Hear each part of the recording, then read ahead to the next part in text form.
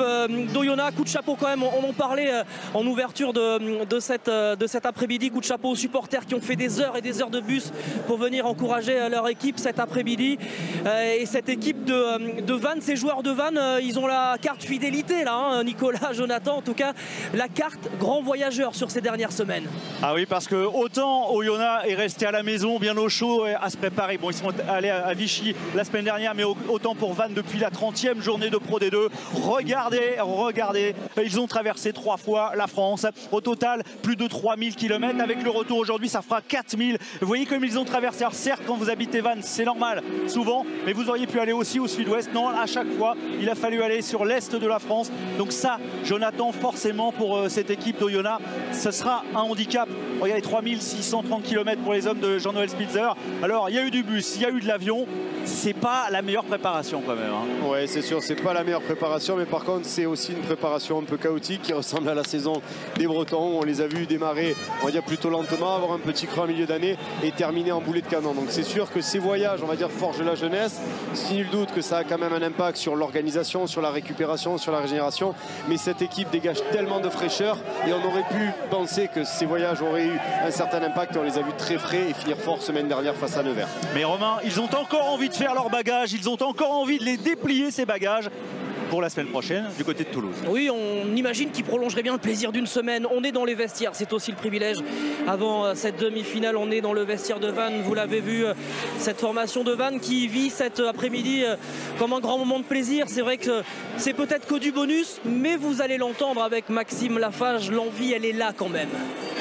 Le match est une fête. Euh, on, a- on se récompense à nous, on récompense tout le peuple breton qui, est- qui a été euh, formidable cette saison. On, récompense tout le club, ça bosse énormément et euh, voilà, on est très heureux d'être là aujourd'hui. C'est vrai qu'on est un peu plus emprunté qu'eux, mais bon là, on sait que c'est des matchs à haute intensité, c'est des matchs qui se préparent. Nous, voilà, on est prêt, on est à, à livrer un rude combat. Eux, voilà, ils ont, ils ont eu cette coupure. Est-ce qu'ils vont être dedans de suite? On ne sait pas, mais nous déjà, on sait qu'on s'est concentré sur nous, on sait qu'on est prêt à, à livrer un gros combat et, j'espère qu'on sera, y sera dedans dès la, dès la première minute. Voilà la grosse dynamique de ces Bretons face à la fraîcheur d'Oyonnax. C'est vrai que ça sera un petit peu euh, toute la question de cet après-midi. Qu'est-ce qui prendra le, le pas euh, sur l'autre Nicolas, Jonathan, on a écouté Maxime Lafage, on va parler de lui parce qu'il réalise à l'image de son équipe une super saison. Bien aidé, c'est vrai, euh, depuis l'arrivée de, de Michael Rourou, son compère à la charnière. Oui, euh, Maxime Lafache, c'est tout simplement le premier marqueur d'essai cette saison de Vannes. C'est lui euh, qui a marqué l'essai décisif la semaine dernière à Nevers, mais c'est aussi Jonathan, depuis que Michael Rourou est arrivé euh, depuis le mois de février. Eh bien, ces deux hommes, c'est une charnière bien huilée. Ils étaient à Bayonne l'année dernière. Ils ont gagné le titre de Pro D2 ensemble la saison dernière. Et c'est 9 victoires en 11 matchs pour les deux depuis qu'ils sont associés. Ça, c'est une vraie carte maîtresse pour les Bretons aujourd'hui. Ouais, tout à fait. Cette charnière, on le dit souvent, c'est le baromètre d'une équipe, la faculté à accélérer, à temporiser, à gérer, à, être un peu le, voilà, le juste équilibre de ce groupe. Et comme vous le disiez, ils ont connu la montée l'an dernier, donc ils ont cette expérience, ils ont cette confiance, ils savent ce que c'est jouer ces matchs-là. Et depuis qu'ils sont arrivés, c'est un quasi sans faute pour Vannes, car c'est peut-être une des meilleures équipes sur la phase retour. Et leur association est pas anodine. Et aujourd'hui, on les a vus très très bons la semaine dernière. Nul doute qu'aujourd'hui, ils seront une fois de plus une des clés de cette performance. Et la composition d'équipe de Vannes avec évidemment donc cette charnière titulaire. On a gardé quasiment tous les joueurs euh, qui ont créé l'exploit la semaine dernière sur le terrain de Nevers au Pré-Fleury. Seul Bastardi est arrivé euh, du côté de l'aile. Pourquoi? Bah Parce que Sacha Valo, euh, lui, s'est blessé à la main. Donc Huleux est passé au centre. Bastardi a glissé à l'aile. Sinon, c'est le même groupe. C'est la même équipe que celle qui s'est imposée à Nevers la semaine dernière. Et une seule entrée également sur le banc. C'est l'Uruguayen Nicolas Freitas. Oui, on fait confiance aux hommes forts. On fait confiance à ceux qui ont déjà créé un exploit romain en espérant en créer un deuxième. Allez, les gladiateurs approchent dans quelques instants dans cette arène où l'ambiance est absolument folle. On va vous faire vivre cette montée en puissance jusqu'au coup d'envoi euh, de ce match entre Oyonnax et Vannes. Les drapeaux bretons, je vous les avais promis, ils sont là, ils flottent au vent à quelques minutes de ce coup d'envoi. Le premier euh, la finale de Pro D2 va être distribué ici entre Oyonnax et Vannes. Et puisqu'on est gourmand, messieurs, allez, encore un petit chiffre pour vous donner envie de passer cet après-midi euh, avec nous, euh, cet après-midi qui nous mènera à la finale de Coupe d'Europe de La Rochelle et la deuxième demi-finale entre Grenoble et Mont-de-Marsan. Oyonnax, Vannes, ce sont tout simplement les deux meilleures attaques de la saison, celles qui marquent le plus d'essais. 205 essais à L2 depuis le début de saison. Nicolas, Jonathan, si avec ça on va pas vu une grande après-midi, je n'y connais plus rien. Ah, ça donne envie, ça donne vraiment envie, effectivement, c'est incroyable. 205 essais, il n'y a eu que 30 matchs de saison régulière, il y en a eu deux en plus donc dans les 93 euh, de Vannes euh, en barrage la semaine dernière au Pré-Fleury. On est dans les vestiaires euh, des, Bretons, des Bretons qui s'apprêtent à entrer dans l'arène, une, une arène comble encore une fois, le stade Charles Maton qui va les accueillir, mais les Vantais sont libérés, ils n'ont pas envie de s'arrêter là, ils l'ont dit, c'était pas une fin en soi la semaine dernière, euh, Jonathan. Ouais, bien sûr. Puis les 21, on se souvient, il y a deux saisons, ils avaient une grosse déconvenue. Le match contre Biarritz qui avait beaucoup marqué le club.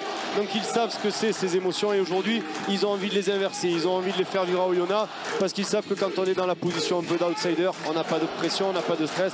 Mais par contre, on peut être libéré. Et ils ont toutes les armes pour créer la grande surprise aujourd'hui. Allez, on va monter doucement en puissance pour cette journée extraordinaire avec les deux demi-finales euh, de Pro D2. Il y aura la finale de Coupe d'Europe également. On le rappelle, on est tous derrière les Rochelet, bien sûr.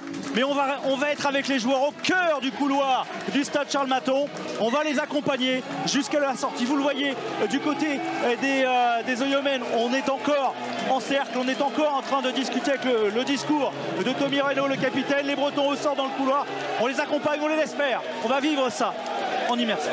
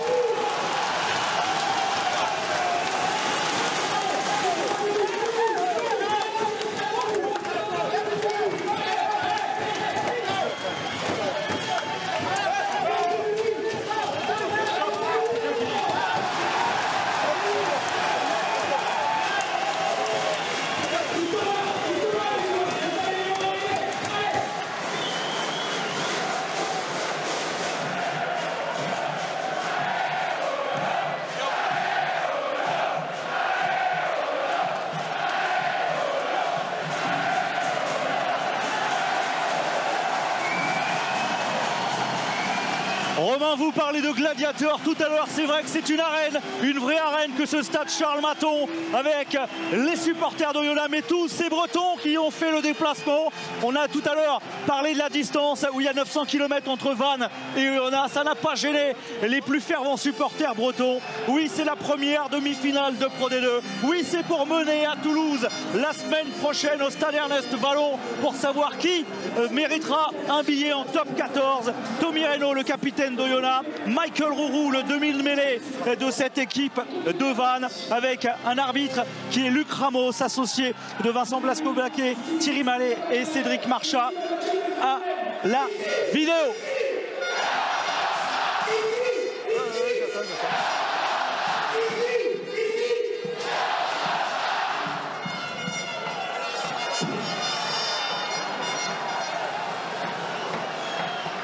Tête depuis la septième journée. Depuis la septième journée, l'équipe d'Oyonnax est en tête, celle de euh, Jean-Noël Spitzer qu'on vient d'apercevoir alors qu'il y a des petits problèmes de micro euh, sur euh, Luc Ramos.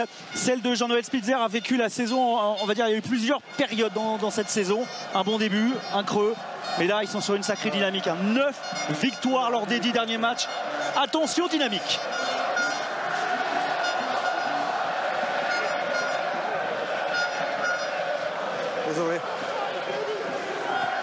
Avant 21h ce soir, Grenoble-Mont-de-Marsan. C'est la première finale, la première demi-finale de Pro D2. Oyonnax, maillot noir face à Van, maillot blanc. Et c'est parti avec le coup d'envoi donné par Maxime Lafage. Un renvoi long dans les bras de Rory Grice, le troisième ligne d'Oyonnax. Cette équipe d'Oyonnax va devoir libérer la tension qu'il peut y avoir en début de match parce qu'ils sont archi favoris. Ils ont survolé toute la saison. Les premières minutes seront importantes, Jonathan Wisniewski. Ouais, bien sûr, il faut bien rentrer dans ce match. Les premiers plaquages, les premiers contacts, le premier jeu au pied. Il faut se rassurer. On l'a dit depuis aller mi-janvier. On sait qu'ils seront aujourd'hui à cette date sur ce match. Maintenant, voilà, ils l'attendent depuis tellement longtemps. Il faut être capable aussi de, vite le digérer, vite se libérer, vite retrouver son rugby parce que sur les dernières semaines, il y a eu ce match de, de Soyeux qui n'avait pas un grand intérêt, ainsi de suite. Il y avait beaucoup de matchs qui pour eux étaient un peu comme un long fleuve tranquille. Maintenant, ce ne sera pas un long fleuve tranquille aujourd'hui face à Vannes. Cette équipe de Vannes qui était 11e le 20 février dernier, mais Cyril Blanchard depuis a frappé à de très nombreuses reprises le talonneur. 11 essais déjà marqués avec un premier lancé en touche bien capté par Ewan Johnson, un futur de Yona. Mais aujourd'hui, lui, il a à cœur de qualifier son équipe. Le ballon au sol de Villaseca, on prend l'axe. Prise de l'axe du terrain. Goricel, le capitaine, pris par euh, Kevin Le Breton.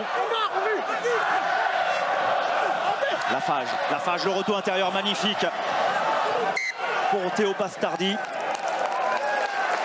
Ouais, première séquence positive côté Jonas, ça fait partie des secteurs où vous devez vous rassurer. La, la défense et on va dire c'est le baromètre, c'est le cœur d'une équipe. Et c'est aussi un des moyens qui vont permettre à cette équipe de Jonas de vite rentrer dans son match. Et là on a vu Van Collet très bien mouvement structuré avec ce petit retour intérieur et ce jeu a marqué ici sur une des Maxime Lafage et son ailier Théo Bastardi malheureusement. On écoute les commandements cette, cette première possession. Ouais, ne confiait pas envie de s'arrêter là c'est tellement difficile de parvenir à accéder à cette demi-finale. Que, non, non, on ne peut pas s'arrêter là, on ne peut pas se contenter d'un exploit auprès de Fleury la semaine dernière. Vous voyez qu'en mêlée, il y a un sacré duel. 89% de mêlée gagnée sur leurs introductions par, par Oyonnax. 86 pour Van. Oui, on ne retrouve pas ces deux équipes dans le dernier carré par hasard. Avec un énorme effort, non, à la tournée. On a senti un, un gros effort breton ils ont, ils ont, fait mal la semaine dernière aux Neversois. Ouais, et puis on a vu Charlie Cassan introduire et rester sur le côté. Ça aussi, c'est un petit signal. On sent qu'on veut les marquer sur ce secteur. Vous vous relevez et vous poussez dans un second temps. Donc on peut pas laisser jouer la mêlée. que ça se, se relève. Maintenant, la deuxième mêlée va être à remettre. On va voir s'ils vont rester sur la même intention en disant on laisse le ballon, on continue, on tente une double poussée pour essayer de marquer son adversaire. Ça fait aussi partie des secteurs où quand une équipe est forte, vous voulez relever le défi, vous voulez montrer que vous êtes plus fort qu'eux. Et Oyonnax a envie d'aller chercher ce défi. Meilleure attaque, meilleure défense, meilleure dans tous les domaines, à part la touche. Cette équipe d'Oyonnax, elle n'a pas le droit à l'erreur aujourd'hui. Et sur cette première mêlée, c'est une pénalité sifflée par Luc Ramos. Numéro 3, directement en bas. Fois, on parle d'expérience, à fois lui aussi champion du monde il y a quelques années. On parlait de la Claya, jeune qui est en train d'éclater. On a son homologue qui est surexpérimenté. Tout ça sous les ordres du chef de la mêlée de Lena. Vincent Debattu. Vincent Debattu, tout à fait. Et premier, on va dire, premier bras de fer remporté par, par les Oyonnax. Ah, les chiffres font peur. Hein. Cette équipe de Yona, c'est tout simplement 37 points marqués en moyenne et 5 essais à domicile. Ici, au stade Charles Maton, sur un terrain particulier, un terrain synthétique. C'est vrai que c'est pas le terrain habituel des Bretons. Mais là, il va leur falloir défendre ce ballon porté avec la bonne prise de balle de Félix Batti. Déjà le départ de Rory Grice. Là, ils ont voulu, euh, ils ont voulu surprendre. On reste dans le fermé. Tommy Reynaud, le capitaine, au sol. Ballon sorti pour euh, Credos, l'enfant du pays qui avance. Credos arrêté à 5 mètres de la ligne. Charlie Cassan qui ouvre avec Rory Grice dans l'axe du terrain. En arrière, jeu. Le ballon est toujours disponible. Pas d'en avant. Cette fois-ci, Charlie Cassan l'a perdu au contact. J'allais dire avertissement sans frais, mais il n'est pas terminé cet avertissement-ci. Premier moment chaud dans cette demi-finale. Ouais, premier moment chaud et, et, les Vantais vont aussi pouvoir se rassurer. On le disait tout à l'heure pour Yona, cette première action défensive importante. Et là aussi, premier secteur difficile. On voit ce petit mouvement avec ce jeu avec beaucoup d'animation autour de Rory Grice. Et c'est lui qui va garder le ballon. Et derrière, ce, voilà, ce jeu de défi physique dont on parlait avant le match, dont excellent les, les Oyonnax, ce jeu court, ce jeu puissant où on utilise les hommes forts. Et bien sur cette première confrontation, Continue. avantage aux Bretons. Ah, ils y croient, ils sont confiants les Bretons. C'est vrai que vous mentionniez tout à l'heure euh, la, la, dernière demi-finale à laquelle avait accédé c'est Vanté parce que c'est pas la première fois qu'ils y sont, c'est bien la, la, troisième fois. Mais la, la, première, la dernière avait fait mal parce que c'était euh, à Vannes au stade de la Rabine et c'était un essai de Kevin Stark aujourd'hui à Oyonnax qui les avait crucifiés après la sirène alors qu'ils avaient dominé le match. Là et là, très bien. Flexion Bien mêlé pour euh, Michael Rouro à l'introduction. Mêlée défensive dans les 22 mètres de Vannes. Et il fait du bruit ce stade avec sa structure métallique. Le ballon est sorti par les Vantais. Rouro Allez, contré. Le lancer sera pour Van. Ouais, contrarié, en ce début de match, les, les sur leur sortie, sur leur qualité de mêlée, on sent que tout est disputé. On sent que les Eumènes veulent, veulent rien laisser de gratuit à cette équipe. On voit cette mêlée est, qui est fortement chahutée. Heureusement, pas l'expérience de Joseph Edouard. Il y a beaucoup de plus. Je veux pas de derrière, on va pas réussir à sortir proprement. On va être contré. On va quand même encore rester sous pression. Et on va dire pour le moment, les, les cinq premières minutes sont, sont sous pression. Maxime Lafoche s'est posé la question est-ce que les Humains vont réussir à bien rentrer dans ce match après leur semaine de vacances? La réponse pour le moment est oui, même s'ils n'ont pas scoré. Et ballon contesté, conservé par les Bretons. En arrière par le blanc. En difficulté en ce début de rencontre. Non, non. C'est euh, la meilleure pied. défense en termes d'essais encaissés à domicile, euh, à l'extérieur plutôt, cette formation de, de Vannes. Et là, pour l'instant, elle a plié, elle n'a pas rompu. Avec Eric Marx qui est passé au sol. Conteste. Non, ballon conservé. Non, monsieur. Non, monsieur. Maintenant Il faut temporiser pour calmer un petit peu les esprits. Ça, c'est l'expérience de Michael Roux. Ouais, c'est très bien fait de la part de Roux. Ça fait 3 minutes 30 que son équipe est sous pression. Il faut sortir le ballon, il faut calmer, il faut maîtriser le rythme, il faut laisser passer cette furia et surtout revenir sur un lancement en touche parce que voilà, on le disait, même si tout est parfait côté Oyonnax, il y a un petit secteur voilà, où il y a eu cette année quelques petites difficultés, c'est le secteur de la touche. Et ils savent qu'en sortant les ballons, en calmant le rythme, ça peut être un, Ouais, des. Aujourd'hui, ça va bien pour l'instant en touche. Avec Grice encore en percussion sur Afroa. Les contacts sont impressionnants. Cassant avec Calandré. Futur Bayonnais. Dans le fermé. Et Credos au raffut. Et Credos qui avance sur chaque impact. Avec le, le bon déblayage de Phoenix Bati. Calandré en demi-mêlée. Et Rory Grice en perforateur de muraille comme à l'accoutumée. Ouais, le retour intérieur encore une fois, le Breton. Le Breton au sol devant les 22 mètres Breton. Avantage, avantage aux défenses pour le moment. C'est tellement fermé, cadenassé. Quatre appuis. Viens ils poser les mains au-delà. Monsieur Ramos, qu'on écoute, on vient de poser les mains au-delà. On va reprocher à, à l'excellent gratteur animateur de ce jeu au sol de venir se mettre en deux. quatre appuis, de faire de la maîtrise de, de son poids. Et surtout, ce qui est à noter, c'est la, la vitesse des défenses qui empêche de, de rajouter cette passe, qui empêche de trouver un peu de largeur, qui empêche de, voilà, de déplacer le ballon. Pour moi, on a deux défenses qui montent extrêmement vite. Il va falloir trouver les solutions à, à peut-être employer un jeu plus direct pour freiner ces, ces structures. Vous le voyez, hop, on monte très très très très fort et malgré la petite animation, par rapport au rock Ah, précédent, on n'a pas gagné un mètre. Voilà, on essaie de trouver du mouvement, mais malheureusement la défense est, bien attentive sur ce début de match et beaucoup de vitesse. Et là, sur cette remise intérieure, voilà, on voit Teddy Durand qui va venir un petit peu perdre ses appuis et, et empêcher le, le grattage vanté. Et ça fait du bien aux Bretons. Ils sont dans les 50 mètres averses avec le lancer de, de Blanchard. Ancien hein, d'ici, bien sûr, d'Oyonnax. C'était il y a 10 ans. Et il a été sacré champion de France avec Oyonnax, Cyril Blanchard. Attention, encore une fois sur les contacts, Rory Grice, on le sent euh, bien rentré. hein. La troisième ligne d'Oyonnax est bien rentrée dans son match. Credos et, et, euh, et Grice notamment. Euh, le Breton aussi. Rourou, coup de pied de pression. Calandré à la réception. Ballon disponible Terminé. pour Charlie Cassan. Espace, espace. Casse le, le plaquage de Léon Boulier. Jouez-le neuf. Une seule défaite à domicile pour euh, Oyonnax cette saison. C'était une défaite face à Mont-Marsan. Avec Duplaine. Il met son équipe dans l'avancée.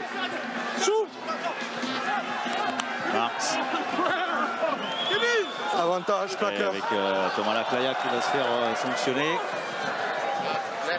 Petit jeu au pied euh, de Maxime Lafage. Il savait que c'était un ballon gratuit. Ouais, bien sûr, il a, il a bien fait d'en profiter, chercher les petites options par-dessus. Ça peut aussi être des options sans avantage. Plaqueur, sortir de la zone. Voilà, il va être reproché à Thomas Laclaya de ne pas sortir suffisamment rapidement de, de cette zone. C'était compliqué de passer au milieu des gens.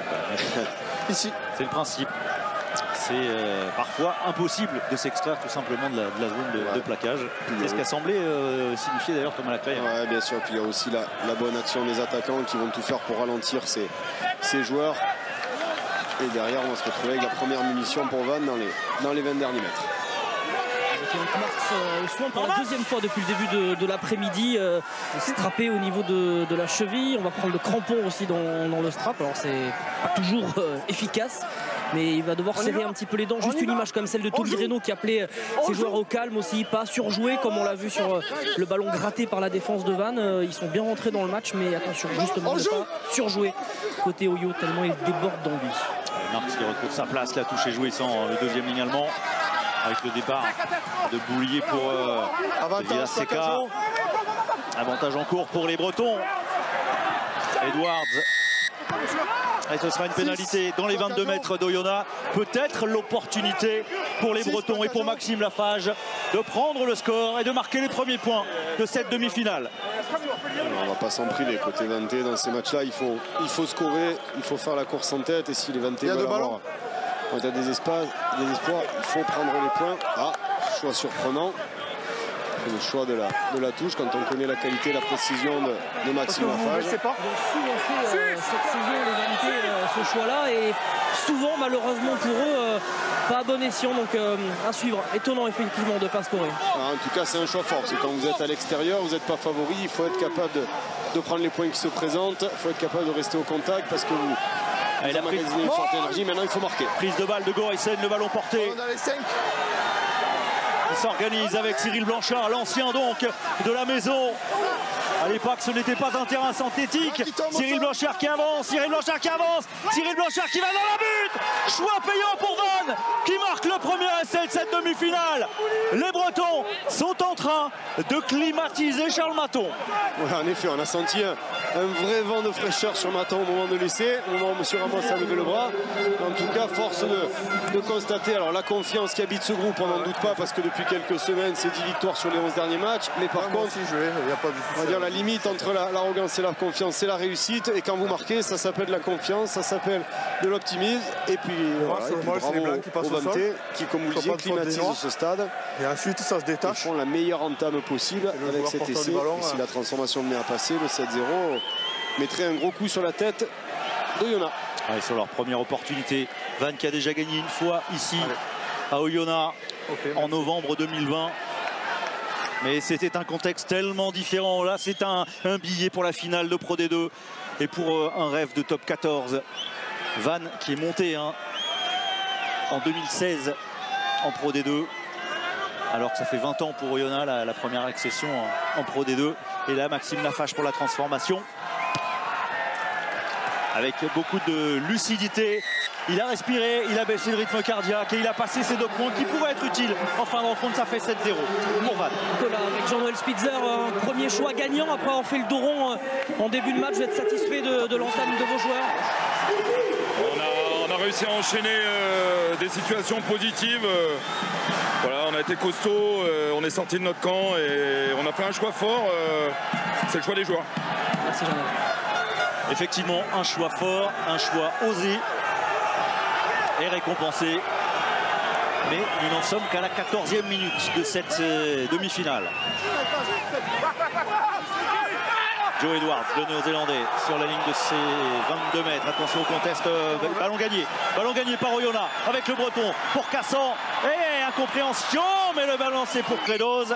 Non, un en avant de la part des Oyomènes qui ne se sont pas compris. malheureusement, un peu d'imprécision. Le, très bon grattage de, les Uyomènes, on a tendance à dire voilà, quand vous avez marqué, il faut valider totalement. Et valider, c'est bien sortir de son camp, bien récupérer le renvoi. Malheureusement, sur le premier temps, on s'est fait gratter le ballon.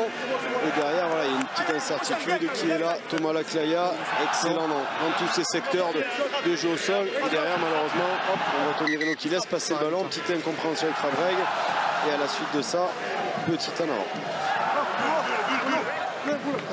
les, les qui font ce qu'il faut parce que même quand ils perdent un ballon, ils arrivent par le récupérer, à le récupérer par la pression, par le stress qu'ils mettent, par l'envie de monter, de rattraper les choses. On va dire en entame quasi parfaite et idéale sur ce terrain de Charles Maton. les hommes de Tommy Reno, le, capitaine, qui sont allés en stage à Vichy la semaine dernière parce que sinon ils n'ont plus joué hein, depuis le, 5 mai. Et euh, vous voyez Hamilton dans les tribunes. Il n'y avait pas beaucoup de blessés. Hein. Ça aussi, c'est normalement très important à cet instant de la saison. Trois blessés seulement. Gondran, Hamilton et Ravouvou qui euh, pourraient reprendre en cas de finale. Flexion et du côté de, de Vannes, un long week-end de repos et une reprise de rugby lundi. Un seul entraînement sur terrain synthétique cette semaine. Ah, les semaines sont courtes hein, dans ces cas-là, lorsque vous avez des, des phases finales à tous jouer. les deux, on essaye de se rapprocher, d'accord, pour pas aller au sol directement. Ouais, vous avez Allez, même marque. tout à l'heure, 3000 km sur les 15 derniers En jours. place. C'est, là, c'est pas le moment de réinventer son rugby, c'est pas le moment de changer des les choses. Il faut au contraire se rassurer, faire de la confiance, faire de la fraîcheur, montrer ce qui est positif, travailler les petits détails, mais c'est pas là que vous réinventez quoi que ce soit. Et les hommes de Fabien Cibré le savent trop bien et qui ont eu le temps de, de préparer, de peaufiner. Maintenant, place à l'action. Elle est importante au centre du terrain pour valider cette euh, avance, cet avantage pris euh, par les Bretons. Le ballon chippé par Cassan. Cassan qui est parti. Qui va marquer entre les poteaux. La réplique du leader de Pro 2, Charlie Cassan. Et son demi-mêlée qui revient dans le match. Un vrai essai de, de demi-mêlée. Filou malin, cette mêlée qui, qui va mal être gérée, mal être digérée. Pourtant, on avait une avancée d'éventé. On va pas réussir à maîtriser ce ballon malheureusement. Et derrière, le, coup de poignard. Alors, on a dit tout à l'heure, coup de climatisation sur Oyonnax. Mais là également, ça met un vrai coup derrière la tête de Van parce que tout était parfait sur cette entame. Hop, vous voyez le ballon qui vient d'être sorti. Le numéro 8 n'est plus lié. Charlie Cassin, en demi-mêlée malin qu'il est, connaît la règle, peut se saisir de ce ballon. Et derrière, plus de défenseurs sont là parce qu'ils sont obligés d'être sur la largeur. Et avec beaucoup de vitesse et d'opportunisme, il va se projeter derrière l'embut. On parlait tout à l'heure de l'importance de la première ligne du côté de, de cette équipe euh, d'Oyonnax. Bon, il n'y a pas que la première ligne dans la mêlée, bien sûr. Il y a les- la, la deuxième hein, avec Batier Fabreg et le breton Credos Grice en troisième ligne. Mais ce pack impressionnant, ces avants de Oyonnax qui font la différence parce que la mêlée d'Oyonnax met au supplice la mêlée bretonne depuis le début de la rencontre. Maxime Lafage frustré, il le sait quand son équipe a dû s'employer pour marquer ce premier essai, défendre 3 minutes, faire ce ballon porté. Et derrière, sur une mêlée mal maîtrisée, vous prenez 7 points. Alors 5, on va dire 7. Parce que quand on connaît la, la précision du jeune ouvreur, il n'y a pas de, de sujet. Et derrière, voilà, c'est tout un tas de, de petits détails qui sont frustrants. Et ça montre aussi la- cette domination de la saison de Yona, mais ça se trouve dans, dans cette confiance, dans ce petit brin de réussite. Et on remet les deux équipes à, à égalité au quart d'heure de jeu. Alors vous promettez des essais, il y en a déjà deux en 17 minutes. Et il y a surtout un score de parité. 7 partout entre Oyonnax et Van. Avec le renvoi pour Maxime Lafage. Renvoi court sur Phoenix Bati. Il est au départ le 6. Molle Ça avance. Ragaillardi par euh, ce retour au tableau d'affichage, même si le ballon est gagné par les 20. C'est, euh, je crois que c'était Marx. Non, c'est Léon Boulier. Léo Boulier qui est venu euh, sur cette prise en l'air faire le tour. Voilà, il n'y avait pas encore de molle formé, donc il a le droit de venir tourner. Vous allez le voir sur ce ballon. Hop, on va voir le 6 rapidement arriver. Hop, il vient là. Il va s'agréger au, au molle. Et puis il va venir étouffer ce ballon. Et si vous n'arrivez pas à le rendre productif, vous rendez la possession à l'adversaire, en l'occurrence Van.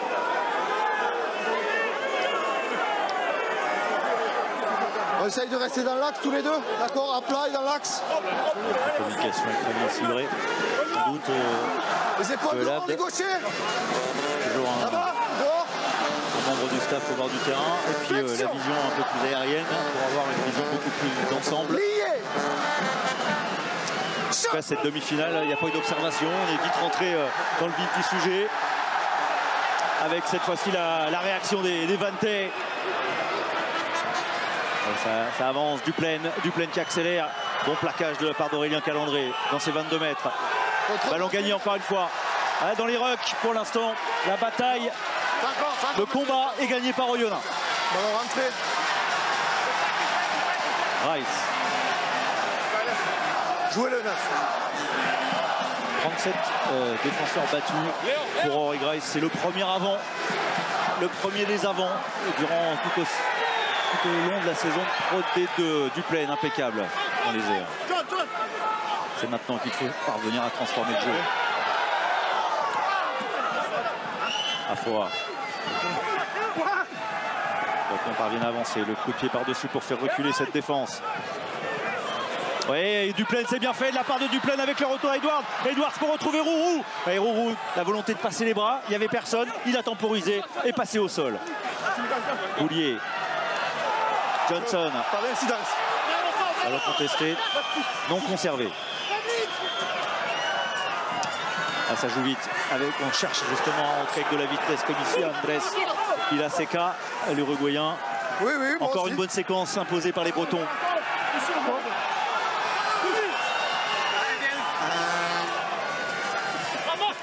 Bordelais, ballon disponible. Villaseca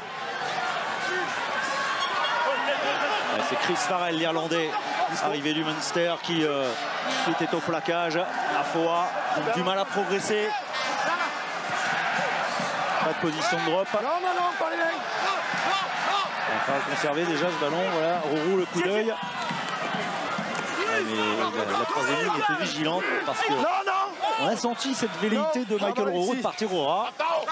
Ouais, c'est nous, on est rentré dans un vrai bras de fer, une vraie guerre de tranchées. On va être sur un jeu plutôt, plutôt réducteur. Après, cette équipe de Vannes, c'est c'est la meilleure équipe quand on rentre dans les 22. Donc, on sait qu'ils connaissent ces secteurs de patience, être capable de faire des très, très, très longues séquences à l'image de, de La Rochelle qu'on verra cet après-midi. Et puis être capable derrière aussi de, de Oh, transformer il y a peut-être une solution sur l'extérieur avec Hulot Et l'essai du Hulot, qu'il soit à l'aile ou au centre, Nathanaël Hulot est un marqueur invétéré. Son 17e essai cette saison.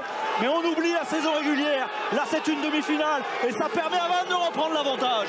Ouais, tout à fait. À noter cette action de, plus de 2 minutes 20 initiée par le très bon petit jeu au pied de, de Rourou. À la suite, c'est lui qu'on on trouve au relais. Et puis on est parti dans ce bras de fer dans les 22. On le disait, l'équipe de Vannes, c'est, la meilleure équipe quand on rentre dans les 22. Ils excellent. Voilà, on voit le départ de l'action, ce petit jeu au pied dans la zone libre. Ça aussi, ça va être un, des facteurs importants. Hop, le petit ballon volayé pour son U8 et vous retrouve à l'intérieur. Michael Rourou, vous le disiez tout à l'heure, Nicolas, il cherche la Chistera, il trouve pas. Et là, on va être capable avec les trois quarts d'aller tous transformer sur les extérieurs. La vitesse de pointe, le raffut, l'accélération, tout est parfait pour le finisseur. Huleux. Nathanaël Huleux. Formé du côté de Grenoble. Nathanaël Huleux. Ah, il était parti dans l'ouest de la France, il est parti en, Bretagne et là il revient dans une région bah, qu'il pas mal quand même. hein, quand vous êtes des élèves, en général, vous connaissez aussi le haut budget. Et euh, Nathanaël Huleux qui marque encore une fois sur son premier ballon. Quel, quel marqueur, quel finisseur. Et quelle entame surtout. Et oui, effectivement. Efficace, très efficace les Bretons. Avec la transformation, 14 à 7. De nouveau Van en tête. Oh le bras de fer, oh le bras de fer qu'on est en train de vivre. Ouais, le bras de fer. puis- Ah. Avec, avec, euh, Vincent Debatti, un vrai bras de fer. euh, Vous vous répondez avec euh, Séventé qui vous euh, cause beaucoup de tort dans cette première, dans ce début de match. Comment vous l'expliquez On le savait, on savait que c'est l'équipe qui démarrait très fort les matchs. Euh, donc voilà, on a fait ça comme ça toute la semaine, donc on va voir comment on réagit sur la suite. Le plus important, voilà, c'est qu'est-ce qu'on fait maintenant. Il faut tourner chez eux rapidement pour leur mettre la pression et reconstruire le score tout de suite. Quoi. Alors c'est vrai qu'il y a du rythme quand vous enchaînez tous les matchs. Euh, souvent les débuts de match sont un peu plus compliqués quand vous n'avez pas joué depuis longtemps. Ce qui est le cas de, euh, Gavin Stark et des, euh, des Oyonnax. Alors c'est vrai que normalement au fur et à mesure de la partie, Oyonnax pourrait avoir un peu plus de, de volume dans son jeu. Ouais, bien sûr, dans un match, vous avez toujours 3 ou 4 temps. Vous avez le, le premier quart d'heure, 20 minutes qui permet de se jauger, de trouver un peu le pouls de, de cette partie. Et pour le moment, ce coup, il est plutôt fou avec 21 points. Après, vous avez un, un temps creux, puis vous avez le money time. Et là, pour le moment, sur cette entame, on va dire début de match excellent et parfait de la part des Vantés qui, sur deux actions avec beaucoup d'à-propos et de justesse, ont marqué. Maintenant, à Oyonnax de, de vite réagir pour garder cette Oh, c'est bien fait, Gavin Stark Gavin Stark qui avait privé les 20 de finale de Pro de 2 alors qu'il jouait à Biarritz à l'époque. Là, c'est un en avant, mais encore une fois, la réplique. Le néo-zélandais qui perd fort la défense, mais qui est repris dans les 22 mètres. Ouais, tout à fait, c'est c'est quasi parfait. On voit Chris Farrell un peu, un peu désabusé parce qu'il sent bien qu'il était une option qui aurait pu amener le ballon derrière la main. Et ce qu'il a noté, c'est que voilà, c'est- on voit ce, ce petit jeu autour de, de Cassan, le jeune bourreau. Derrière, petite passe et on voit Chris Farrell qui attendait le ballon qu'il n'a pas. Et derrière, on tente la passe de plus, la passe de trop. Arrête du temps. Après, à noter que c'est le, c'est le troisième en avant de 20 minutes, en 20 minutes de la part des humains et que être capable de tenir le ballon un temps de plus, être un peu plus patient comme l'ont fait les Vantés, C'est ce sera une des clés de, de ce match. Et on voit toute la frustration de, de Chris Farrell, faire car il le sait, attention, il faut être, mais pour faut l'instant, être précis, il faut marquer quand on rentre dans les 22. L'infirmerie de Vannes, c'est la même que la semaine dernière, à laquelle s'est ajouté Sacha Valo, euh, qui s'est blessé à la main euh, lors du, euh, du barrage à Nevers. Le noir, c'est bon? Blanc aussi? Reprise Un groupe, on, on l'a rappelé euh, en introduction, qui a quasiment pas changé. Parce qu'évidemment, on fait confiance à la dynamique d'en parler. Mais cette équipe euh, d'Oyonnax, attention, qui est dans les 22 mètres adverses. Attention, Michael Rouro et Opac, parce que Oyonnax aime marquer entre la 20e et la 40e minute. 30% des essais marqués. Et quand on sait que des essais, ils en ont marqué 112, 30% de 112, ça fait un paquet. Ça fait un paquet d'essais marqués. De bien digérer cette mêlée, parce que la précédente sur, Allez, la- messieurs, de la maîtrise, on est prêt à engager à lier. sur une situation géographique similaire, elle avait offert 7 points aux, aux Oyomen sans trop d'efforts pour les, les joueurs de l'Ain. Donc maintenant, au Allez, de la Vanté de maîtrise bien de valider s'il vous plaît. cette mêlée, cette sortie. Je vais là. Je vais là. Flexion.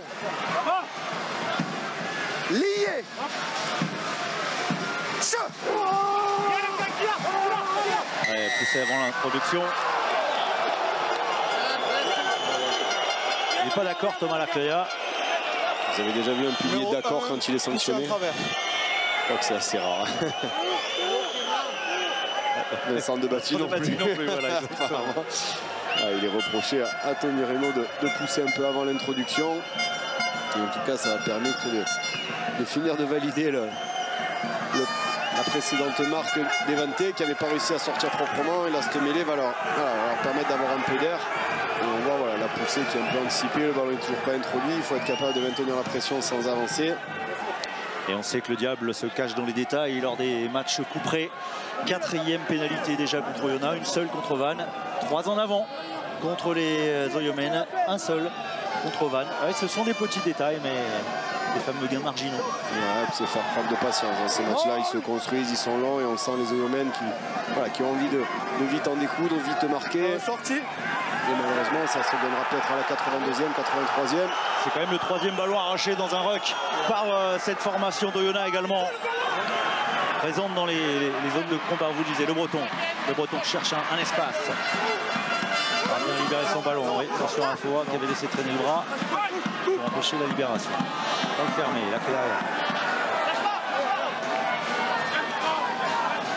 Comme ça. Ballon rentré dans les le pied. 50.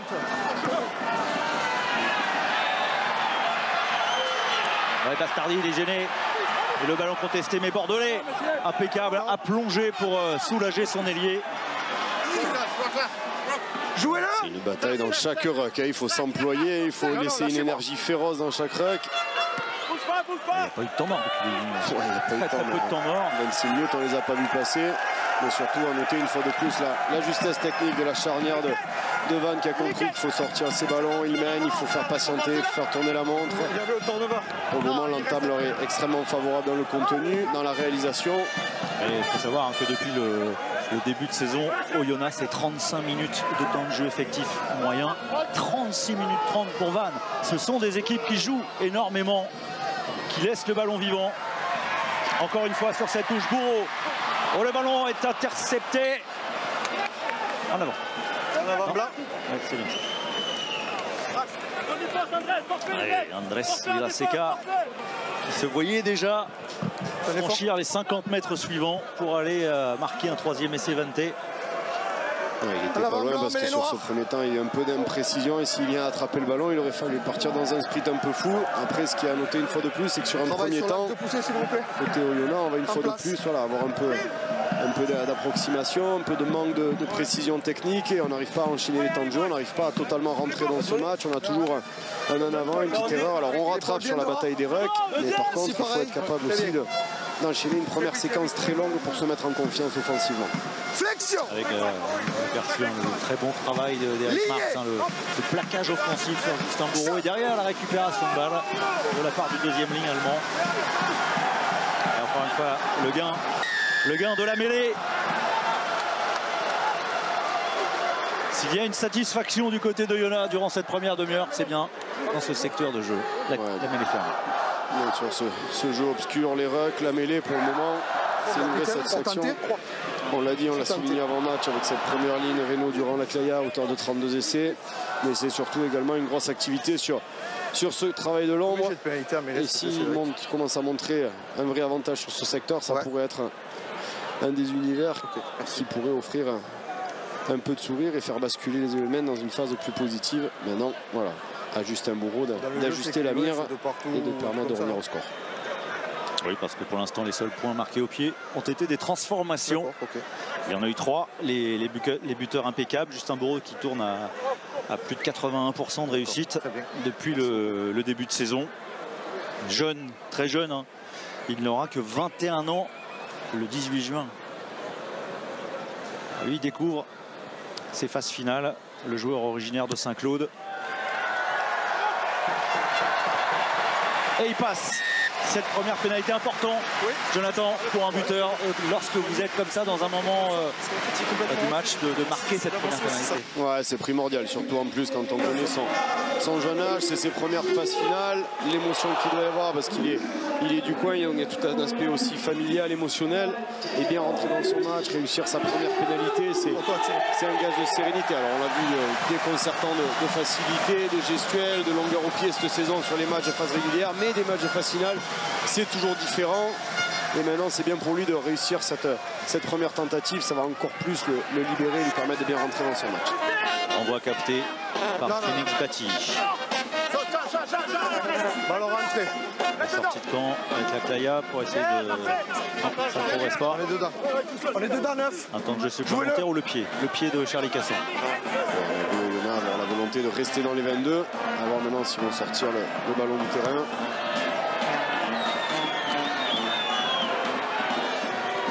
c'est très bien fait. On voit ce ballon haut, long, s'il ne sort pas, il est bloqué dans les 5 mètres et il force un, un très compliqué avec tous les avants qui sont devant vous. Et là, il sort avec une très bonne longueur et il offre une, munition dans les zones intermédiaires, très loin de la zone de marque de Yona. Très bon jeu au pied de, de Charlie.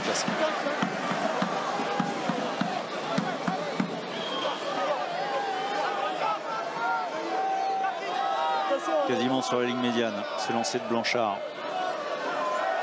Johnson, ballon vite sorti pour Edwards.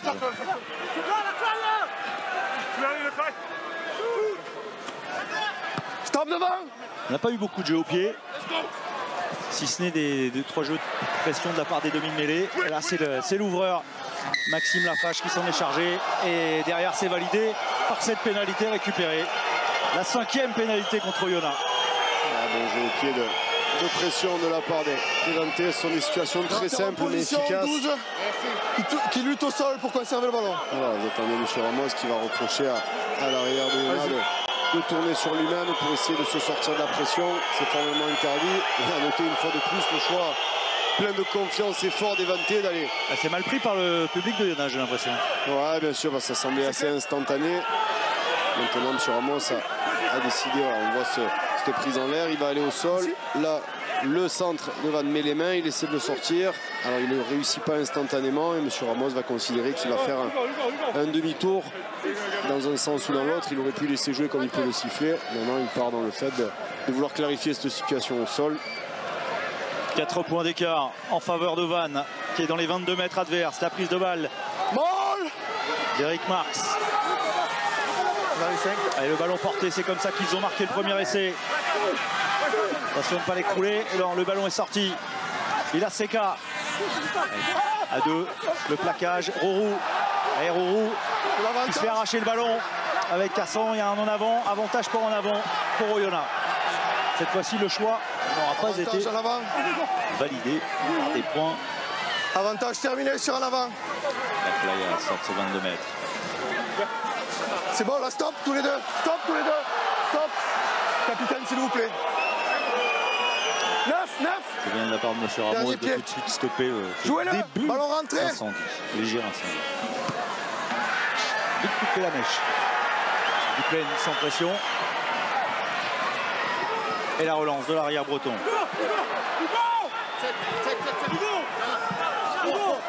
Jouez-le on voit les Vantés utiliser très régulièrement ce jeu au pied de pression. On sent qu'ils ne veulent pas jouer dans leur camp. Ils savent que les Éoliennes excellent sur. Ouh, Justin Bourreau. Ouh, Justin Bourreau. Découpé par Villaseca. Dans les règles, hein. il avait, euh, me semble-t-il, déjà les, les, pieds au sol. Parce que sinon, M. Ramos serait intervenu. Il falloir juste vérifier euh, où est le point d'impact. Parce que c'est vrai qu'il y a eu beaucoup, beaucoup d'intensité. Voilà, je vous disais tout à l'heure, les 20 premières minutes, c'est pour se tester. Là, on sent qu'on est parti désormais dans, dans un bras d'offert de patience. Et ces jeux au pied sont une arme. Bastardi. Bastardi avec Credos sur sa route. Afoa, Bordelais. Bonne circulation de balle de la part des 20. Il n'y avait pas beaucoup de solutions. Et encore un ballon perdu. Oui, encore un ballon perdu par Van ou récupéré par, par. C'est comme vous, vous le voulez. Théo Millet a remis son équipe dans l'avancée. Ah, le public du stade Charles Malton le sent. C'est le moment d'enfoncer avec Teddy Durand. Teddy Durand, le talonneur, inarrêtable. Oh, il a gagné une bonne vingtaine de mètres. Et derrière, la transformation du jeu avec la Claya. Les avants, les avants d'Oyonnax une nouvelle fois. Ils répondent présent. Et la vitesse derrière Théo Millet, arrivé comme une balle, mais stoppé net. Placard dans la zone. Ah, le gros temps fort de la part des, des Oyonnax. C'est Rory Grace. Rory Grace marque le deuxième essai pour Oyonnax qui reprend la tête, qui prend la tête même pour la première fois du match. Ah, tout à fait, je disais tout à l'heure, il faut que les Humains arrivent à, à avoir une première séquence de jeu. Et là, ils l'ont eu à la suite de ces échanges de jeu au pied. Et ça va venir une fois de plus d'une bonne pression défensive et d'une bonne qualité de, de contre-rack. Et un temps de jeu plus loin, on va réussir à, à jouer plusieurs options. Et enfin, ça va libérer cette équipe de Humains par la qualité de, de cet homme surpuissant, tellement important. Rory Grace, voilà, on voit ce petit jeu dans le dos, la justesse de Justin Bourreau pour aller chercher son talonneur Teddy Durand, qui va s'extraire du premier plaquage, qui va s'efforcer de, de se battre, de rester debout, de garder de la continuité. Et là, derrière, on enchaîne avec beaucoup de vitesse.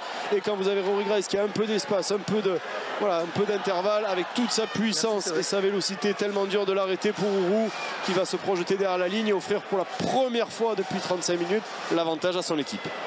Quel match, quelle première période en tout cas, avec deux équipes vraiment au rendez-vous euh, de cette demi-finale, dans le jeu, dans les intentions, Non, on n'a pas dans l'engagement, rente- c'est incroyable. On n'a pas eu de ronde d'observation, on est parti euh, dans mon battant. Justin Bourreau pour enfler le score. Ce serait trois points d'avance pour Oyonnax. Euh, ouais, ça passe à gauche. Ça passe à gauche. 15-14. Sous les yeux du président d'Oyonnax, Dougal Benjabala. Vous voyez avec la bouteille d'eau. Et derrière son manager que l'on aperçoit ici de dos. Sa réaction sur l'essai de Rory Gray, ça c'est contenu. Il le sait que le chemin est encore long et beaucoup de froideur. On ne veut pas faire l'ascenseur émotionnel parce qu'à 14-7, il doute qu'il aurait pu avoir la tête en bas. et voilà. Il sait qu'il faut arriver à la 80e et peut-être même au-delà. Alors, Romain, on se régale nous en hauteur. J'imagine qu'au bord du terrain, c'est pas mal non plus. hein. Ouais, c'est vrai qu'il y a une euh, sacrée euh, ambiance en plus, vraiment, et euh, on est quand même assez euh, étonné peut-être du répondant de ces Bretons qu'on pensait peut-être un petit peu pris par l'émotion, mais euh, ils sont bien dans leur match. Même si le choix de ne pas prendre les points pèse quand même sur, euh, sur, ce, sur cette dernière action. Ah, et les Bretons symbolisés par Gwenaël Duplaine, hein, 16e saison au club. Le Breton à l'arrière aujourd'hui avec Afoa. Dernier pied. Après le choix de ne pas prendre les points, comme dit Romain, on va dire qu'il s'équilibre parce que la première fois ils l'ont pris, ça a fait 7 points. La deuxième fois ils ne le prennent pas, ça fait 0. Ils avaient pris deux fois la pénalité avec 100% de réussite, ça aurait fait 6 points. Donc maintenant, ce qui va être intéressant, ça va être de voir les, les prochains choix parce qu'il ne faut pas non plus rater trop d'occasions de marquer.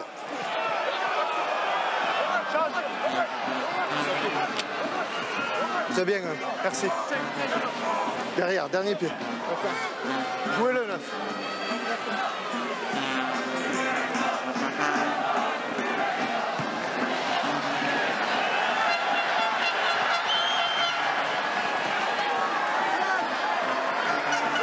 Et Gwenaël Duplaine encore une fois au sol à deux minutes de la fin de cette première période.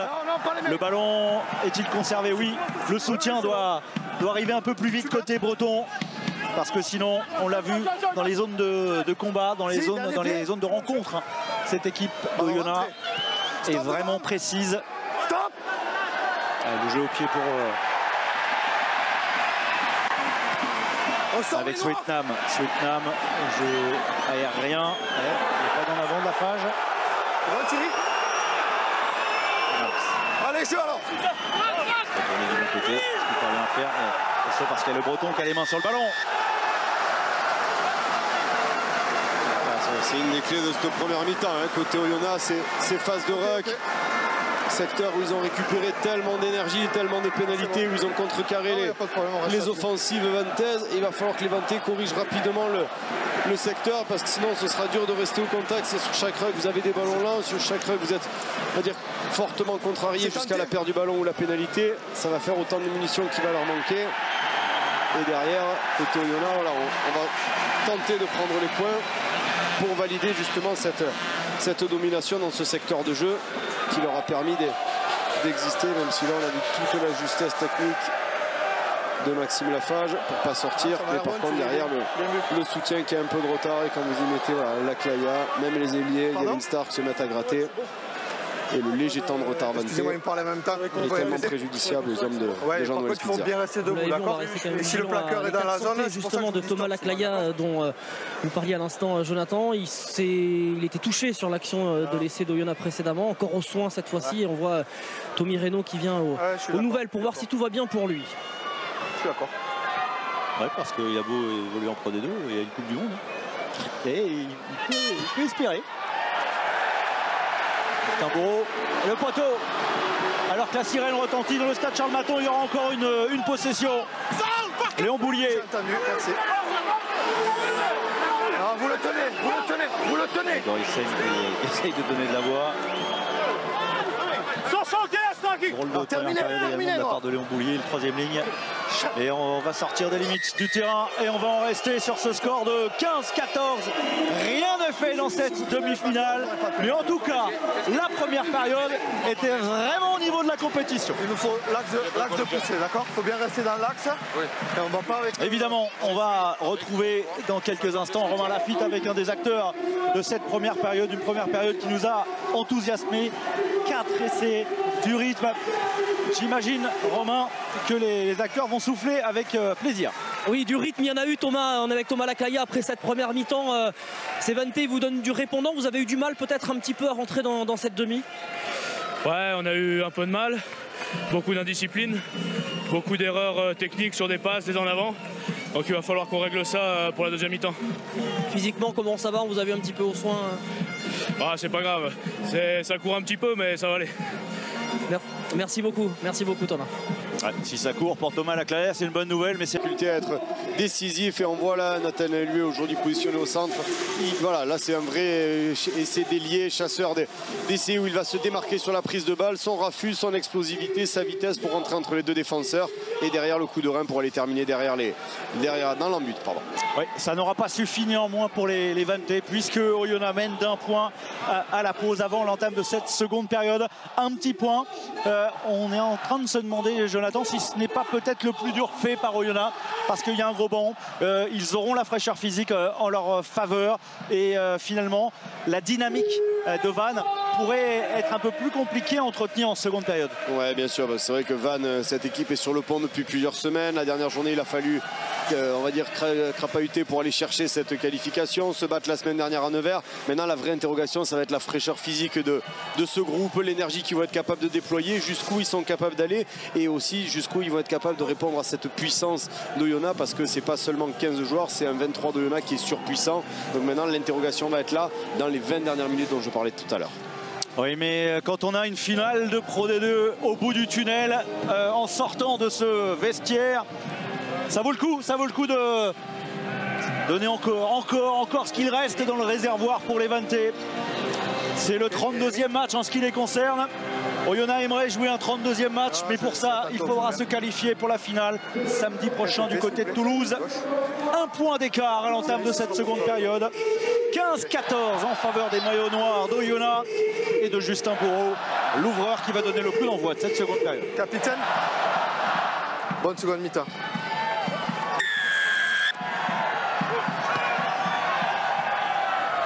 Envoi haut, juste devant les 22 mètres, pris par Gorissen.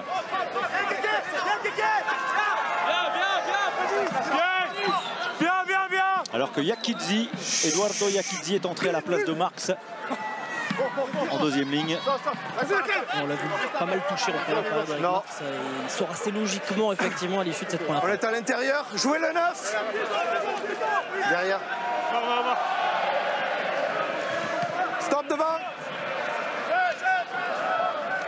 Et la sortie de camp pour euh, tout de suite ne pas se mettre euh, d'emblée en ce début de seconde période sous la pression d'Oyola, même si euh, la touche est sur la ligne des 40 mètres. Avec Joel Ab, qui était confiant, hein, euh, même s'il le sait, euh, c'est le match le plus important. Il a beau avoir fait une saison extraordinaire avec son club. C'est aujourd'hui que ça compte. C'est aujourd'hui qu'on va être jugé pour Oyonnax. Avec la bonne prise de balle ici, avec de la vitesse de la part de Théo Millet. Dans les rocks, ballon contesté mais conservé. Rice.